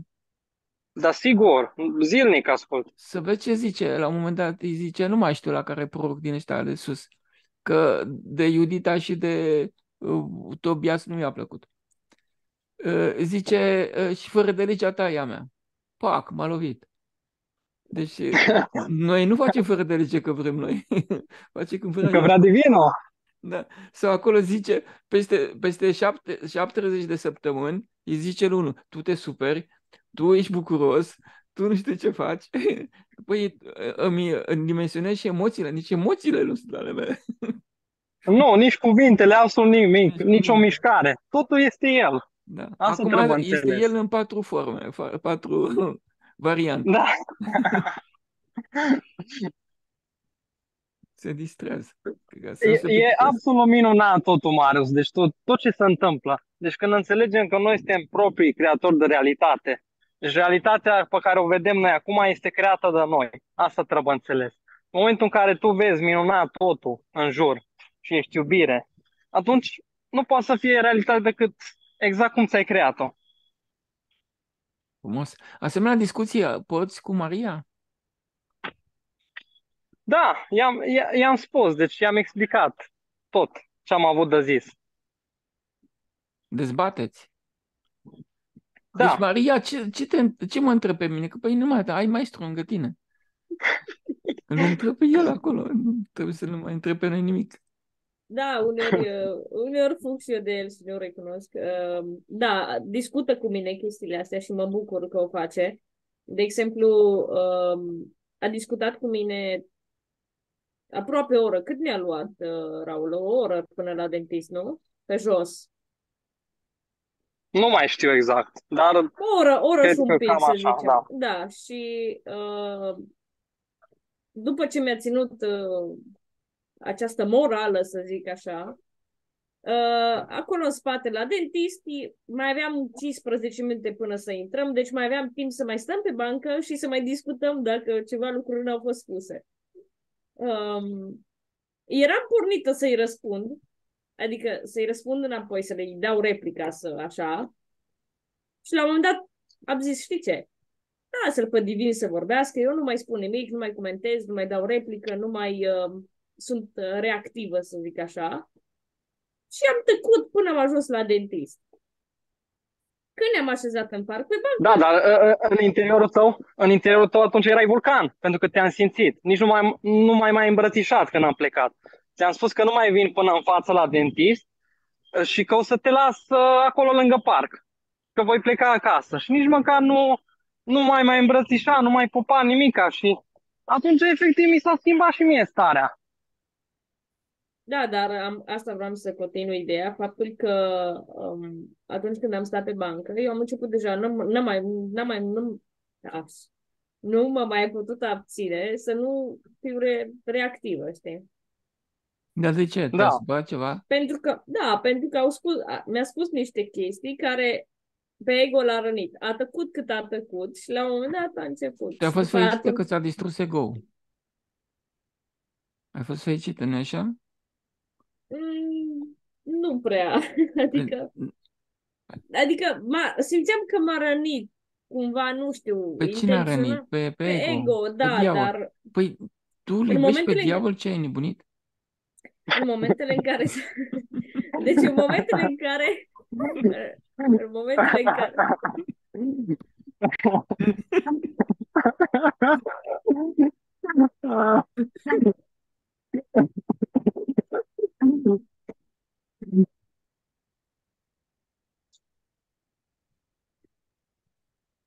Te ascultăm în momentul în care Dacă nu mai, n-am mai putut, că v-ați apucat voi să râdeți.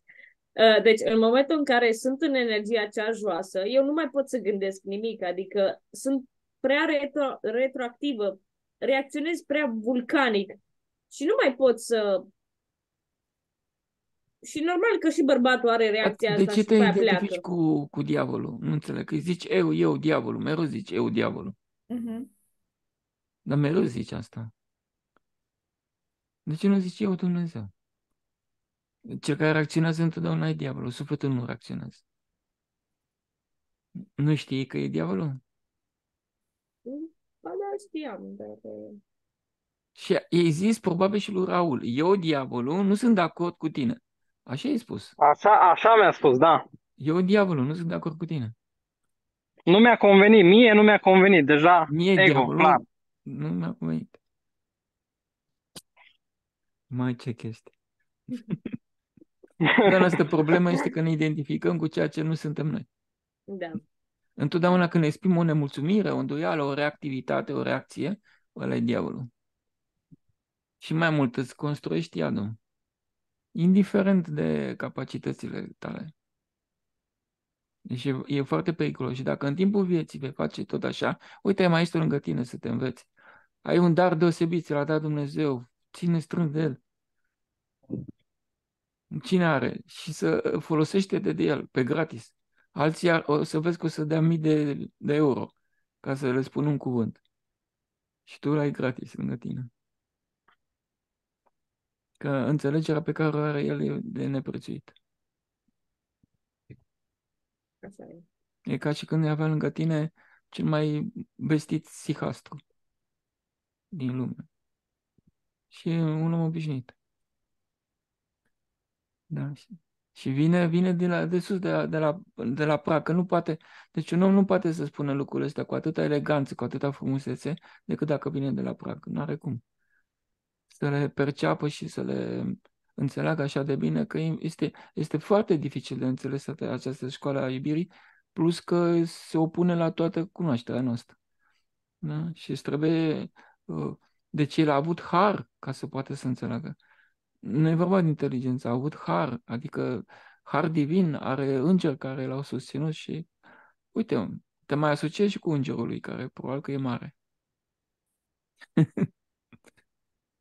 Da, ține de el. Dacă ai un bărbat, ține de el și iubește-l. Mai ales că de valoarea pe care o are Raul este de neprețuit. Că, nu știu dacă îți dai seama, de neprețuit. Mai bine lași de la tine tot timpul. De, de ce te ții de diavolul ăla? Să-l iubești pe diavol? Eu, eu nu înțeleg. Să-l iubești, să ai grijă de el, vai de mine, să nu se supere diavolul. Lasă să se supere. Întotdeauna când uh, Raul calcă în picioare, pe diavol calcă în picioare, nu pe tine. Nu te identifica cu el. Când zice eu sunt uh, nemulțumită, nu ești tu, e diavolul. Eu, diavolul, sunt nemulțumit. Sufletul nu e nemulțumit de nimic, el nu se apără, nu se protejează, nu are nevoie. El, el e prost, el este slujitorul tuturor.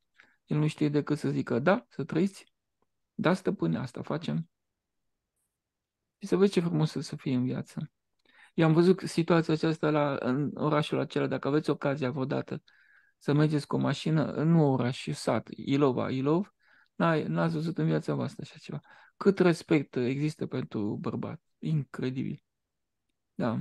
Bărbatul se înclină, deci femeie, femeia tânără cum ești tu, Maria, se înclină la 90 de grade în fața bărbatului. Tu te-ai înclinat în fața lui Raul la 90 de grade? Nu. Ai putea să faci asta. Dacă ai fi în mediul acela la țară, acolo ai face, spun eu. Tradiția nu te lasă. Iar femeile mai în vârstă la 45 de grade. Întâietate, știi cum e, cum e bărbatul, parcă este rege acolo. Se învârt în jurul lui ca să fie lui bine. Nu știu ce să facă. Și el dă ordine și spune, face asta, face asta. Da. Și acolo uh, fiecare familie are minim doi copii. Uh, nu, nu există divorțuri niciodată. Uh, toate tradițiile sunt păstrate. Um, ai impresia că ești în rai, pentru că satul are, în afara satului, uh, sunt livezi. Livezi, adică cireși și numai cireși, apoi vine livadă de prun, de merne și mai departe. Și primăvara miros extraordinar de fantastic și mai impresionant că am crezut că a murit. Că totul e liber acolo, adică caii sunt liberi, umblă cai pe lângă tine prin livezile acelea, gâștele la fel, oile, fără cioban. Eu am zis că sunt în rai. M-a impresionat foarte mult. Și a, a, asta este. Deci armonia care e în natură este armonia din oameni. Exact cum era cu Solomon ăla. Ce ai făcut de a, a făcut ploaie? Și l-a făcut nimic. Am făcut uh, liniște în mine și s-a făcut ploaie. Deci dacă faci liniște în tine, asta e soluția de rezolvare a tuturor problemelor. Lasă-te. Că lăsarea de sine este prezența lui Dumnezeu. Deci în împărăția mea nu poate să intre decât cel care se leapătă de sine în mod desăvârșit. Altfel nu există. Nu se poate. Adică să ai eu. Dacă, eu, dacă e rezistență, înseamnă că îl, îl dau afară pe Dumnezeu. Și se dă afară din orice moment al zilei. Deci în orice moment poți să-l dea afară. Când nu ești de acord cu ce zice Raul, n-ai voie. Tu trebuie să fii de acord întotdeauna. Ce da, stăpâne, ai dreptate întotdeauna. Că normal, dacă e inspirat de divin, la 80% de energie subtilă, ce să faci? Că, ă, ce zice în Timotei? Nu dau voie femeilor să învețe pe altcineva și de, lor nu le rămâne decât să tacă. Nu ai ce să, ce să spui. Adică să asculte, să fie ascultătoare. și atâta trebuie. Ascultarea te face, îți dă toate fericirile din lume. Ascultarea la bărbat e ascultarea la Dumnezeu. Deci femeia se apropie de Dumnezeu numai prin bărbat. Deci, slujind pe bărbat, ea se apropie de, de Dumnezeu. Își scade ego-ul acela, vine iubirea în ea și din iubirea aceea se, fac, se face toată fericirea, relații. Deci dacă femeia nu se supune bărbatului, nu are cum să fie fericită. Bărbatului, iubitului, alesului ei, prietenului, cum voi să spui. E același lucru. Și uh, nu e, am spus că uh, actele sunt o piedică formidabilă pentru că oamenii se privesc ca proprietar, proprietari. Adică ălălalt e proprietar, proprietarul, proprietatea ta. Și atunci se luptă pe proprietate și nu mai pot să iubească. Deci actele sunt făcute nu ca să pună ordine, ci sunt făcute ca să distrugă familia. Actele. Pentru că nu se mai pot iubi. Când, pun, când o, o, au pretenții unii de la alții, pun condiții, unde ești, când vii acasă, pe unde umbli, chestiile acestea înseamnă control. Înseamnă neiubire. Așa este, Raul. Da, când pun uh, regulile acestei lumi pe primul plan, atunci gata, au căzut imediat. De asta e foarte important să, să nu ne mai uităm la, la lucrurile astea lumești. Adică să înțelegem că tot ceea ce vor să facă ei, cum ai spus și tu, să destrame familiile și să ne certăm între noi, să ne omorâm între noi. Uh, asta au stimulat, de fapt, și cu plăcerile astea păstă, păstă nevoie. Să ne omoare cât mai repede. Deci să face acum o cernere. Și cum am mai spus și în alte binarii, că vor veni din față atacuri foarte puternice. Adică Dumnezeu deja uh, nu mai poate să lase lucrurile așa, pentru că nu mai este energie uh, suficientă în lume și atunci el trebuie să, să acționeze cât mai rapid. De asta se vor întâmpla multe schimbări. Corect. Energia e băgată în case, în mașini, în bani. Da, și ne trage continuu în jos. Deci, iadul, iadul ne mănâncă dacă nu, nu renunțăm la, la lucrurile astea. Da. Și de unde știi iadul? Agresivitatea interioară e iadul. E da. diavolul și iadul, agresivitatea interioară. Când reacționezi, când te lupți cu celălalt, când îți cauți dreptatea. Furia, mânia, supărarea, critica, acuzația, judecata, învinuirea. Sunt o, o, o mulțime, cred că sunt vreo 30 de din astea. Cum e Carmen, da. așa este? Da, asta, asta vreau să o întreb pe, pe Ana dacă ea uh, știe care sunt semnele când ea uh, se diabolizează. Cum își poate da ea seama că se diabolizează? Că am impresia că ea încă nu, nu înțelege uh, uh, aici cum, unde, unde pică ea, unde cade. Cum îți dai seama că ai un eu acolo, că ești în, în ego?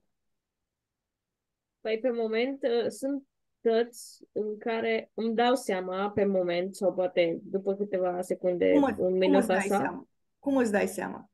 Păi uh, după reacția bărbatului. Aha. Da. Deci doar după ce ți oglindește el. Da. Adică, uite, de exemplu, pot să-ți dau un, uh, un exemplu foarte recent, uh, tot din plimbarea respectivă. Urma să, să ne îndrept, adică trebuia să trecem pe la un semafor ca să continuăm traseul și uh, la semafor uh, a trebuit să așteptăm. Și eu eram în dreapta bărbatului. De fapt, trebuia să fiu în stânga lui. Și a venit un grup de băieți uh, la semafor. Și eu știam și simțeam că acel grup de persoane se îndreaptă unde ne îndreptăm noi spre semafor. Și acolo, Raul, de exemplu, fără să-mi spună nimic, în 3 secunde, poate nici mai, adică poate mai puțin, m-am mutat în stânga lui. Înțelegi ce am să spun? Asta a fost o chestie care a venit instant, adică să trec... Te o crotească. Da, da. Uite, și astăzi, uh, uh, ca să îți răspund puțin la întrebare, nu tot timpul îmi dau seama, dar cum spuneam, oglindește în mine rapid o chestie. Și și dacă nu mi-o spune pe moment, poate mă las așa, greșită sau nu știu cum să-ți exprim ideea. Defectă, defectă. Da, și după aia îmi spune. Știi? Poate nu-mi spune între lume că am greșit, îmi spune acasă. Sau îmi spune într-un loc în care nu e foarte multă lume lângă mine. Știi? Ok, dar, dar când nu ești cu Raul, ești la serviciu, cum îți dai seama că te diabolizezi? Bună Cam întrebare crezi că- excepțională. Că îmi cresc nervii, nu știu, reacționez. Deci care sunt semnele că tu nu mai ești în divin? Dar nu mai Furia, știu să- mânia, Da, condiționările, pui condiții. Când simți că te superi, când ceva Da. nu-ți convine, Da. când te enervezi, când ești iritată, când Da. nu-ți place, atunci nu ești în divin.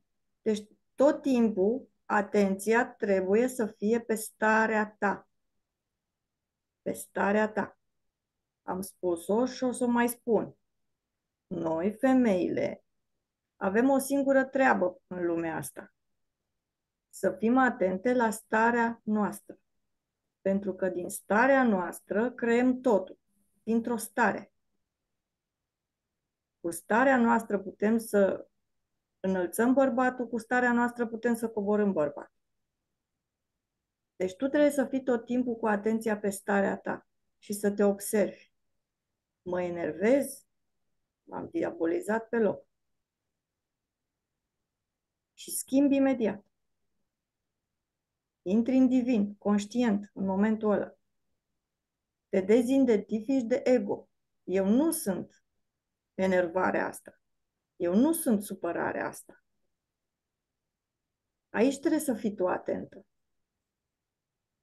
Da, când ești cu uh, Raul, el oglindește, dar tu trebuie să înveți și când ești cu el să te observi, să nu trăiască să mai vină el să te corectezi. Deci tu trebuie să fii atentă tot timpul la starea ta. da, în anumite circunstanțe îmi dau seama și singură și Mhm. mi-a um, recunoscut acest lucru, că a văzut această intenție de, nu știu, transformare, să zic așa, sau fac lucrurile așa cum trebuie uneori, dar alteori e nevoie să vină la mine și să-mi spună că nu le-am făcut corect și atunci eu trebuie să accept. Da, deci tu tot timpul, tot timpul când ceva în exterior nu-ți convine, întorci privirea către tine. Da. Și la tine e de schimbat, nu în exterior. Nu mă lupt cu exteriorul niciodată, nu atac niciodată exteriorul, tot timpul mă întorc către mine și la mine schimb. Când am schimbat la mine, s-a transformat exterior. Atenția este tot timpul pe mine. Nu pe Raul îl corectez, pe mine mă corectez. Când ceva nu-mi convine la Raul, la mine mă întorc. La mine schimb. În momentul ăla eu nu sunt în slujire, nu sunt în iubire, nu sunt în supunere față de el și atunci mă cobor. Da. Bunica mea mi-a venit iarăși e, o, o amintire legată de ea. Bunica mea avea o, o vorbă pe care o, o folosea extraordinar de des. Pupați aștălpile Doamne. Ea tot timpul uh, uh, spunea vorba asta și acum am înțeles, am avut o conștientizare zilele trecute, mi-am dat seama că ea când folosea expresia asta, pupați aștălpile, Doamne, ea se cobora în fața celui din fața ei care îi spunea pupați aștălpile. Pentru că tălpile sunt jos.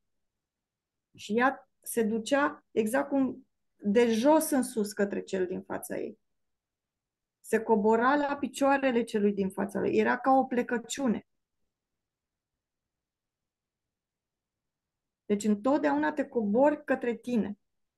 Te duci la tine și îl slujești pe ăla din fața ta.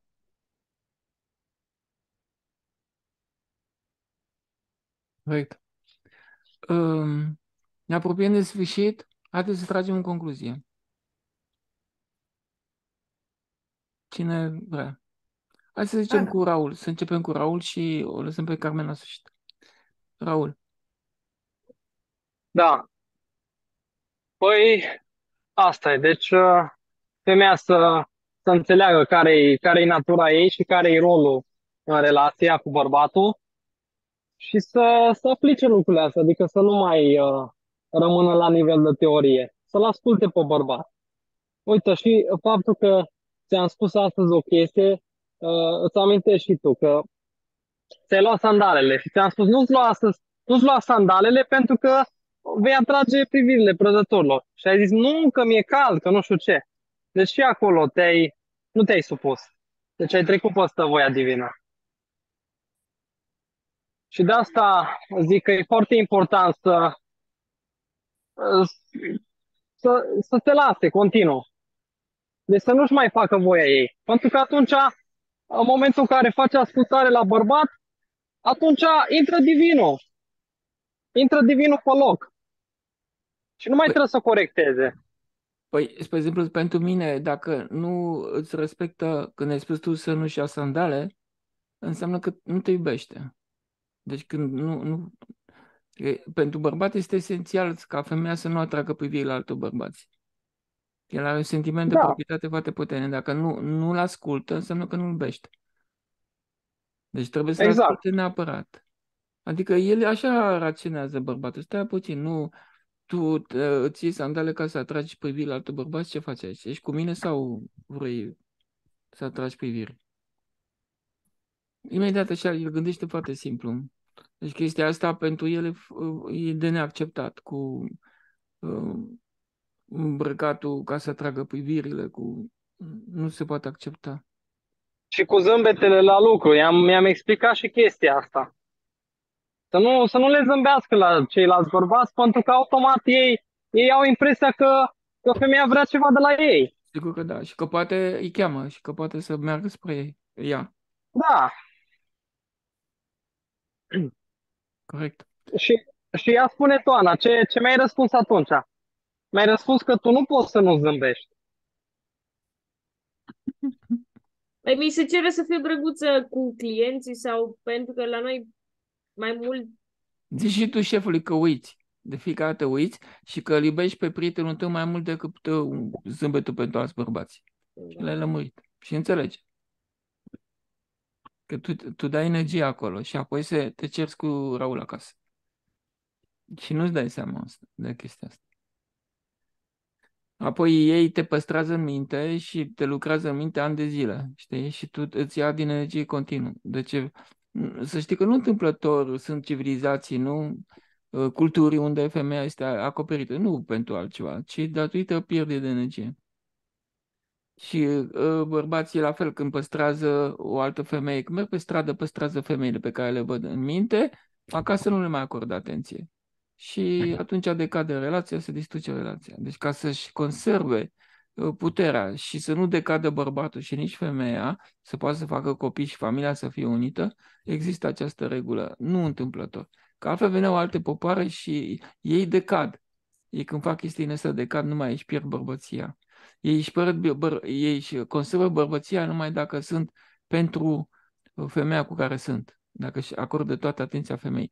Dacă acordă atenție la alte femei, își pierd uh, curajul um, și Dumnezeu nu mai e cu ei. Și atunci vin alții și îi simt uh, uh, Slabi. simt slabi și îi omoară. Și e o problemă de viață și de moarte femeia. Nu trebuie să se înțeleagă. E o problemă de energie, că aici se fac transferuri energetice. Ani de zile o păstrează în minte. Ani de zile. Oricare din noi, bărbații, facem chestia asta ani de zile. Ne-a plăcut o femeie care am văzut acum șapte ani, o avem în minte. E acolo. Îți dai seama că ei din energie tot timpul. Da? Și indiferent ce s-a întâmplat, e din energie. Um, asta este. Deci chestia e un, e un subiect foarte delicat, îmbrăcămintea. Deci femeia trebuie să facă, să fie decentă, ca să... Că decența asta consolidează relația pe care o are. Dacă nu, e un semn că nu-l respectă, că nu-l apreciază pe bărbat. Dacă îl iubește, știi cum face femeia? Femeia care iubește nici nu interesează ceilalți bărbați. Nu interesează. Deci nu vrea să fie plăcută, să fie atrăgătoare pentru ceas, nu vrea. Asta înseamnă dragoste. Total, o dedicare, se dedică total. Și e o problemă și de demnitate. Îți păstrezi demnitatea în fața lui Dumnezeu. Că Dumnezeu zice, pe ce ți-ai luat sandală? ce faci? Te-ai dus cu energia în altă parte. Că trebuie să vezi că divinul e în față de peste tot.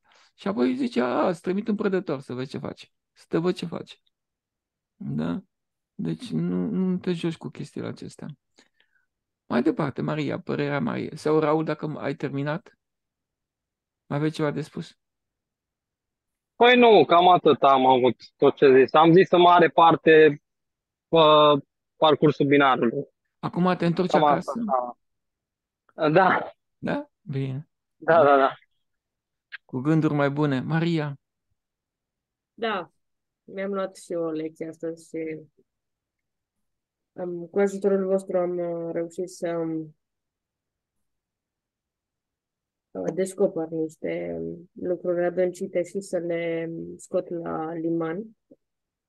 Și în special că ar trebui să mă doresc mai mult uh, la infinit, cum spune Carmen, uh, față de um, bărbatul meu. Și să iubirea accept, doar dă, iubirea nu cere nimic în schimb. da, și să accept uh, că toate lucrurile sunt în, uh, În pre... ordine divină și să n-ai grijă, Da. că ți le aranjează perfect, funcție de interiorul tău. Deci nu ai grijă cum, cum sunt ceilalți. Ceilalți sunt indicatoare. Îți arată ce este în tine. Tu aici scazi uh, pretențiile, așteptările, apărarea, nu te aperi și atunci um, nu ripostezi, că n-ai cu cine să ripostezi, ești atent uh, pe cine alegi. Uh, Ori pe diavol, pe Dumnezeu. Dumnezeu nu, nu ripostează, Da. nu reacționează. Mulțumesc, Carmen Eu. Liliana. Um, Eu i-aș mm, sugera Anei ca toată uh, sârguința asta pe care o are ea în, uh, în- în viața ei să uh, o întoarcă și cu, uh, în atenția către starea ei. Să fie tot timpul în, uh, în autoobservare să se observe pentru că uh, la cât e ea de uh, analitică și de uh, puterea asta ei de, de, de analiză fantastică, dacă ea în- își întoarce privirea către ea, către interiorul ei, uh, cred că o să reușească uh, mult, mult mai repede să facă diferența când uh, iese din divin și atunci să se poată corecta mai ușor. Instant. Dar Da. să știi că autoanaliza asta poate fi înlocuită foarte ușor, deci nu e nevoie să te analizezi prin slujire. Slujești pe În ceilalți. slujire, da, da, dar Cea pentru ca un că- fraier și n-ai Da. niciun fel de probleme de analiză. Da. E Dumnezeu cu tine, chiar în actul de supunere. Da. Supunerea este una cu El, că faci ceea ce face El, deci te unești cu El. Da. Poate la început nu-ți dai seama, te supui încetul cu încetul și în momentul în care îți pierzi identitatea de sine și faci lucrul ăsta firesc ca o a doua ta natură, ca, se transformă în personalitatea această dorire, uiți de tine și când ai uitat de tine ești una cu el. Deci, altfel nu se, omul nu poate să-L cunoască pe Dumnezeu. Rugăciune, meditații, exerciții înseamnă depărtare. Trebuie să te apuci să slujești. Se vede asta în Vechiul Testament. Nu? După mii de jerfe, a venit Dumnezeu și i-a spus, iată-mă, jertfă de sine, sacrificiu de sine. Deci numai așa. Și apoi îi zice, nu mă interesează, Doamne, Doamne. I-a făcut peșteră de tâlhari. Mă interesează comportamentul vostru, purtarea voastră, le-a zis, și faptele voastre. Tot frumusețe deosebită. Ce diferență este între prucia de la început și uh, Timotei și cu uh, Iudita. Diferență colosală. Manipulare, ne-a manipulat, nu ne-am văzut acolo la Iudita. Și se vede, o- adică în în Estera era singura soluție, era ca toți să se uh, facă robi, să se să pună pânză de sac pe ei și uh, praf în capul semnal mininței, asta era soluția, da? Iar dincolo la Iudita să-l omoare pe ăla. Păi care? Este voia mea, este voință, deci este anularea, anularea lui Dumnezeu, l-a anulat pe Dumnezeu. A pregătit Noul Testament. E o pregătire, nu aparține Vechiul Testament. Și crede că suntem proști, au crezut că suntem proști. De fapt, de mii de ani, nu știu cine a observat. O fi observat câte cineva. Mă gândesc. Deci asta este. Deci Dumnezeu nu se uită decât la comportamentul nostru, la purtarea noastră. La început nu o să ne dăm seama, doar să facem identificarea cum trebuie. Slujirea uh, față de ceilalți, când faci voia celuilalt, în familie, în, în prietenie, voia prietenului tău, când ai făcut-o, tu te-ai unit cu divinul. Atunci a început scăderea orgolii. Cade orgolii și începe să se schimbe soarta. Se scad programele de autodistructive din spate, toată lumea beneficiază de chestia asta. Deci ai nevoie tot timpul să fii slujitor. Nu știu cum, cât timp. Poți să fii 20, poți să fii 60 de ani, dar va veni un moment în care ai șters tot. Când șters tot, încep să urci. De-abia atunci urci. Până atunci, că mie mi-a zis o țigancă că a venit la plafar și mi-a zis de bun ce ai fost, niciodată n-ai avut parte de bucurii, dar de aici încolo gata, s-a terminat. Păi mi-a zis ce s-a întâmplat. Eu tot timpul am cedat. Niciodată n-am reacționat și nu am luptat. Eu m-am lăsat bătut, într-un învins. Tot timpul am făcut chestia asta. Că ce scriu în cărți, m-am putat eu așa, deci mă descriu pe mine. Încă asta pot să spun lucrurile astea și să uh, aduc dovadă că așa este, asta, așa se ajunge în lumea de dincolo. Că am fost de peste 10 ori în lumea de dincolo în timpul vieții acestea. Sau amintirile din lumea de dincolo înainte de a veni în viață. Nu oricine poate să le aibă. Trebuie să fii foarte jos ca să poți să fii sus, trebuie să fii cel mai jos. Încă Dumnezeu e jos unde se strâng pe oamenii, se duc spre mai mult bine, n-are nicio treabă, se îndepărtează de Dumnezeu și apare uh, nefericirea. El e jos de tot, e simplu, e banal. Și nouă nu ne convine să ne unim cu Dumnezeu. De aia, ca să ai o relație fericită, trebuie să te lași pe tine să fii slugă, slugă la bărbat, tot timpul. Și să fii cea mai fericită de pe lume, pentru că de ce ești fericită? Scaze uh, orgoliul la 20%, îl mișoresc cât se poate de mult și în golul respectiv vine divinul și prezența lui îți face relația fericită, stabilizează pe, pe bărbat, um, îți dă tot ceea ce dorești, copiii sunt bine, toată lumea e fericită. Îi salvezi și pe cei care nu mai sunt, că, uh, care nu mai sunt, că sunt, nu știu, 4.000 de, gene, 4.000 de persoane, nu știu câte generații, în 300 de generații. Și îi ridici și pe aia de acolo, din locul unde sunt. Pentru că îi alimentezi cu LGM. Da? Toată lumea beneficiază și așteaptă, toți, și cei care nu mai sunt, așteaptă de la tine. Fiecare, când suntem în lumea de dincolo, așteptăm să ne scoate cineva de acolo. Că singur nu putem, că sunt foarte, presiunile sunt foarte mari. Adică te calcă aia în picioare de nu te vezi. Da? Adică vin de sute de ori mai mari. Adică o răutate pe care am făcut-o noi cuiva îți vine din față de sute de ori mai puternic și te, te doboară. Ai vrea să reacționezi, că alt, altă soluție nu ai, dacă n-ai reacționat, apoi o arsură e o arsură în interiorul tău și te nebunește arsura aia. Ai sentimentul că e fort și nu mai refuzi să reacționezi. Și atunci înveți să cedezi. Păi puteai să vezi și aici să cedezi. Trebuie neapărat să te duci acolo, să te ardă ei acolo, în iad. Nu e, e absurd, e o postie. Deci noi facem lucrurile, nu e de apărat ego. Ego nu există, este diavolul. Nu ai ce să apări la diavol. Păi ăsta trebuie să lasă să fie călcat în picioare, să fie umilit să te bucuri că vine o pierdere, un necaz, necazul te înalță. Noi am pus etichete negative la ceea ce este vindecare de la divin. E o, e o aberație, o absurditate. Și apoi ne ducem să ne vindece. De ce? De vindecare de la Dumnezeu. Tu te vindeci de, de vrei să te vindece de, omul de vindecare pe care ți-a dat Dumnezeu, păi e, e ilogic. Da? Oricum ți-a dat ăla și te duci la ăla, dar îți vine o, o forță mult mai mare. Omul se, se duce și ia medicamente, face operații și crede că a scăpat, nu? Că nu a, cauza a rămas acolo. Cauzele sunt, țin de comportament. A zis Dumnezeu, a zis, purtarea voastră și faptele voastre mă interesează, știi? Deci e de comportament. Deci toate necazurile, bolile sunt boli de comportament, adică preocupare excesivă pentru bine individual. Nu te apăra niciodată. Când nu te apără, îl alegi pe Dumnezeu. Când te apără, îl alegi pe diavol. Asta așa că am văzut Bun, că vă spunem noi asta de mii de ori de aici încolo, încă 30 de ani, până ne, le învățăm și noi și le înțelegem și noi mai bine. Nu? Că dacă, dacă ele vin așa frecvent, înseamnă că nu le înțelegem nici noi bine. Că altfel n-ar mai veni. Nu? Carmen, cuvântul final. Cuvântul final este la fel ca la început. Trebuie să ne deschidem inima și să dăruim iubire și să fim în slujire în permanență pentru ceilalți. Noi nu suntem aici pentru noi, noi suntem pentru ceilalți. Întotdeauna, întotdeauna pentru ceilalți și nimic pentru noi. Și atunci n-ai ce să apă. Dacă n-ai ce să apă, nu poți să te super. Că n-ai ce să pierzi. N-are nimeni ce să-ți ia. Dacă tu tot timpul te dorești, tu nu te protejezi, n-ai apărare. Fără apărare n-ai ego. Fără ego nu, nu, nu poți să fii nefericit. Și dispar preoții, dispar facultățile de preoți, dispar avocații, dispar politicieni, toți dispar. Pentru că tu ești mulțumit. În momentul în care te dăruiești, te încaci cu energie subtilă și ești mulțumit. Ești împăcat, sufletul este împăcat. Sufletul nu se mulțumește cu materie, că n-ai ce să facă. N-ai ce să facă, nu se hrănește cu materie. Este o energie înalt vibrațională. Nu are legătură, nu are ce să facă. Păi uite-te, spre exemplu, când s-a dus Ilie Cioară la tatălui, tatălui era mai sus.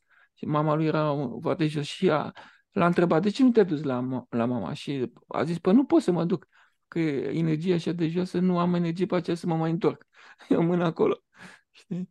Deci e foarte greu, e o problemă. Deci materia nu te poate, nu poate sătura sufletul. Sufletul este uh, de o, o valoare foarte înaltă. Foarte înaltă. Acolo este adevărul la suflet. Deci în momentul în care tu luți pentru tine, luți pentru diavol. Tu nu ești uh, diavolul. Tu ești ființa divină care nu luptă pentru sine. Și te uiți la ce faci. Dacă uh, alegi comodități, bunăstare, dreptatea ta, adevărul tău, binele propriu, când lupți pentru ele, ai luptat pentru diavol, te-ai diabolizat. Și apoi îți trebuie un timp, săptămâni, luni de zile, ca să îți vină necazul din față. Și să te rogi să-ți vină necazul. Și sufletul te execută, propriul tău suflet. Nu ăla din față e de vină, nu omul din față, nu Raul este de vină, ci sufletul tău l-a pus pe Raul să te corecteze. Propriul sus. Și tu arunci vina pe, pe Raul. Pe ce trebuie ai Raul? Că tu ai avut orgoliu, te duci pe diavol și sufletul zice, băi, nu te duce pe diavol, că ăsta te, te păcălește. Și tu te duci spre șoar, șoar, spre, cum îi cheamă? Șarpe. Șarpe. Șarpe. E șarpe. Ce să-l ascult pe șarpe? Că ce, ce, el ăsta te nenorocește. Ascultă pe Dumnezeu, acolo este viața, acolo e viață, sănătate, viitor, tot ce vrei, fericire. Și culmea, este exact ca la fata babei și fata moșului. Deci fata moșului nu s-a dat înlături de la nimic, din toate alea, le s-a supus și le-a făcut pe toate. Pe, pe când fata babei n-a făcut nimic din toate locurile acelea. Și uh, asta este, deci ca să ai succes în viață trebuie să te supui, să te jerfești, asta e jerfă de sine. Continuu, că trebuie să jerfești teul acesta. Și câștigi ce? Câștigi viață lungă, câștigi uh, uh, lipsă de boală. Păi ești interesat. Când nu le vrei, ai parte de tot ce ai nevoie, nu mai mult. Exact, zice Raul. Asta este. Ei bine, le mai repetăm până poate le înțelegem. Da. Ești important să le transformi în, în felul tău de a fi. Așa să trăiești tu. Și să nu mai vezi că celălalt, în momentul în care te surprinzi, chiar dacă s-a întâmplat, și te surprinzi că, uite, eu l-am acuzat pe omul din față, că omul din față nu poate să fie vinovat niciodată, că e divinul, că lucrează la poruncă de sus vine și te corectează cu ce este în tine. Păi întotdeauna tu ești cauza lucrurilor.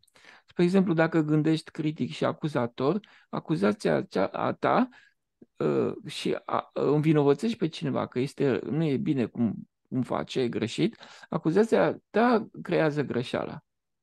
Faptul că l-ai acuzat creează greșeala. Nu omul greșește. El, ca să poată să greșească, are nevoie ca tu să-l acuzi înainte. Deci dacă tu nu-l vezi greșit, și nu, nu zici că este rău, el nu poate să fie rău. Deci întotdeauna când e cineva rău și uh, lupți cu el, în, în lucrul ăla a fost în tine, în tine. A fost în tine acuzația, nemulțumirea, critica, învinuirea, toate ele au fost în tine ca să poată el să-ți răspundă cu același lucru care este în tine. Deci dacă nu e în tine, nu poate să, să, să-ți răspundă agresiv sau să ți se împotrivească. Deci nu, nu te lupta cu oamenii, că e divinul acolo, nu cu cine să lupți. Dar dacă Dumnezeu zice, dacă totuși lupți cu mine, uite, ia aici niște suferințe. Va trebui, totul se plătește. Totul se plătește, absolut orice reacție se plătește. Bun. Și e o lume minunată asta, nu poți să zici că este rea. Ei te învață tot timpul, toată lumea te ajută, deci îți dai seama, un univers întreg lucrează la tine ca să te ajute să te dezvolți. Că nu există decât două persoane, tu și divinul și șeful de la servici, și colegele tale, și Raul, și prietenele tale, și doamna Carmen, toată lumea face tot posibilul și școala iubirii să te ajute pe tine să evoluezi. În toate formele. Unii te chinuiesc, alții te critică, alții te judecă, uh, uh, Raul te înjură.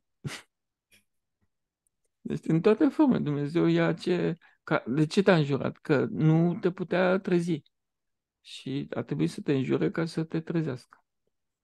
Da, dar nu el te-a jurat, propriul tău suflet uh, l-a pus pe Raul să te înjure. Așa face sufletul, te pune pe cineva în față și ia de în pumnul ăsta.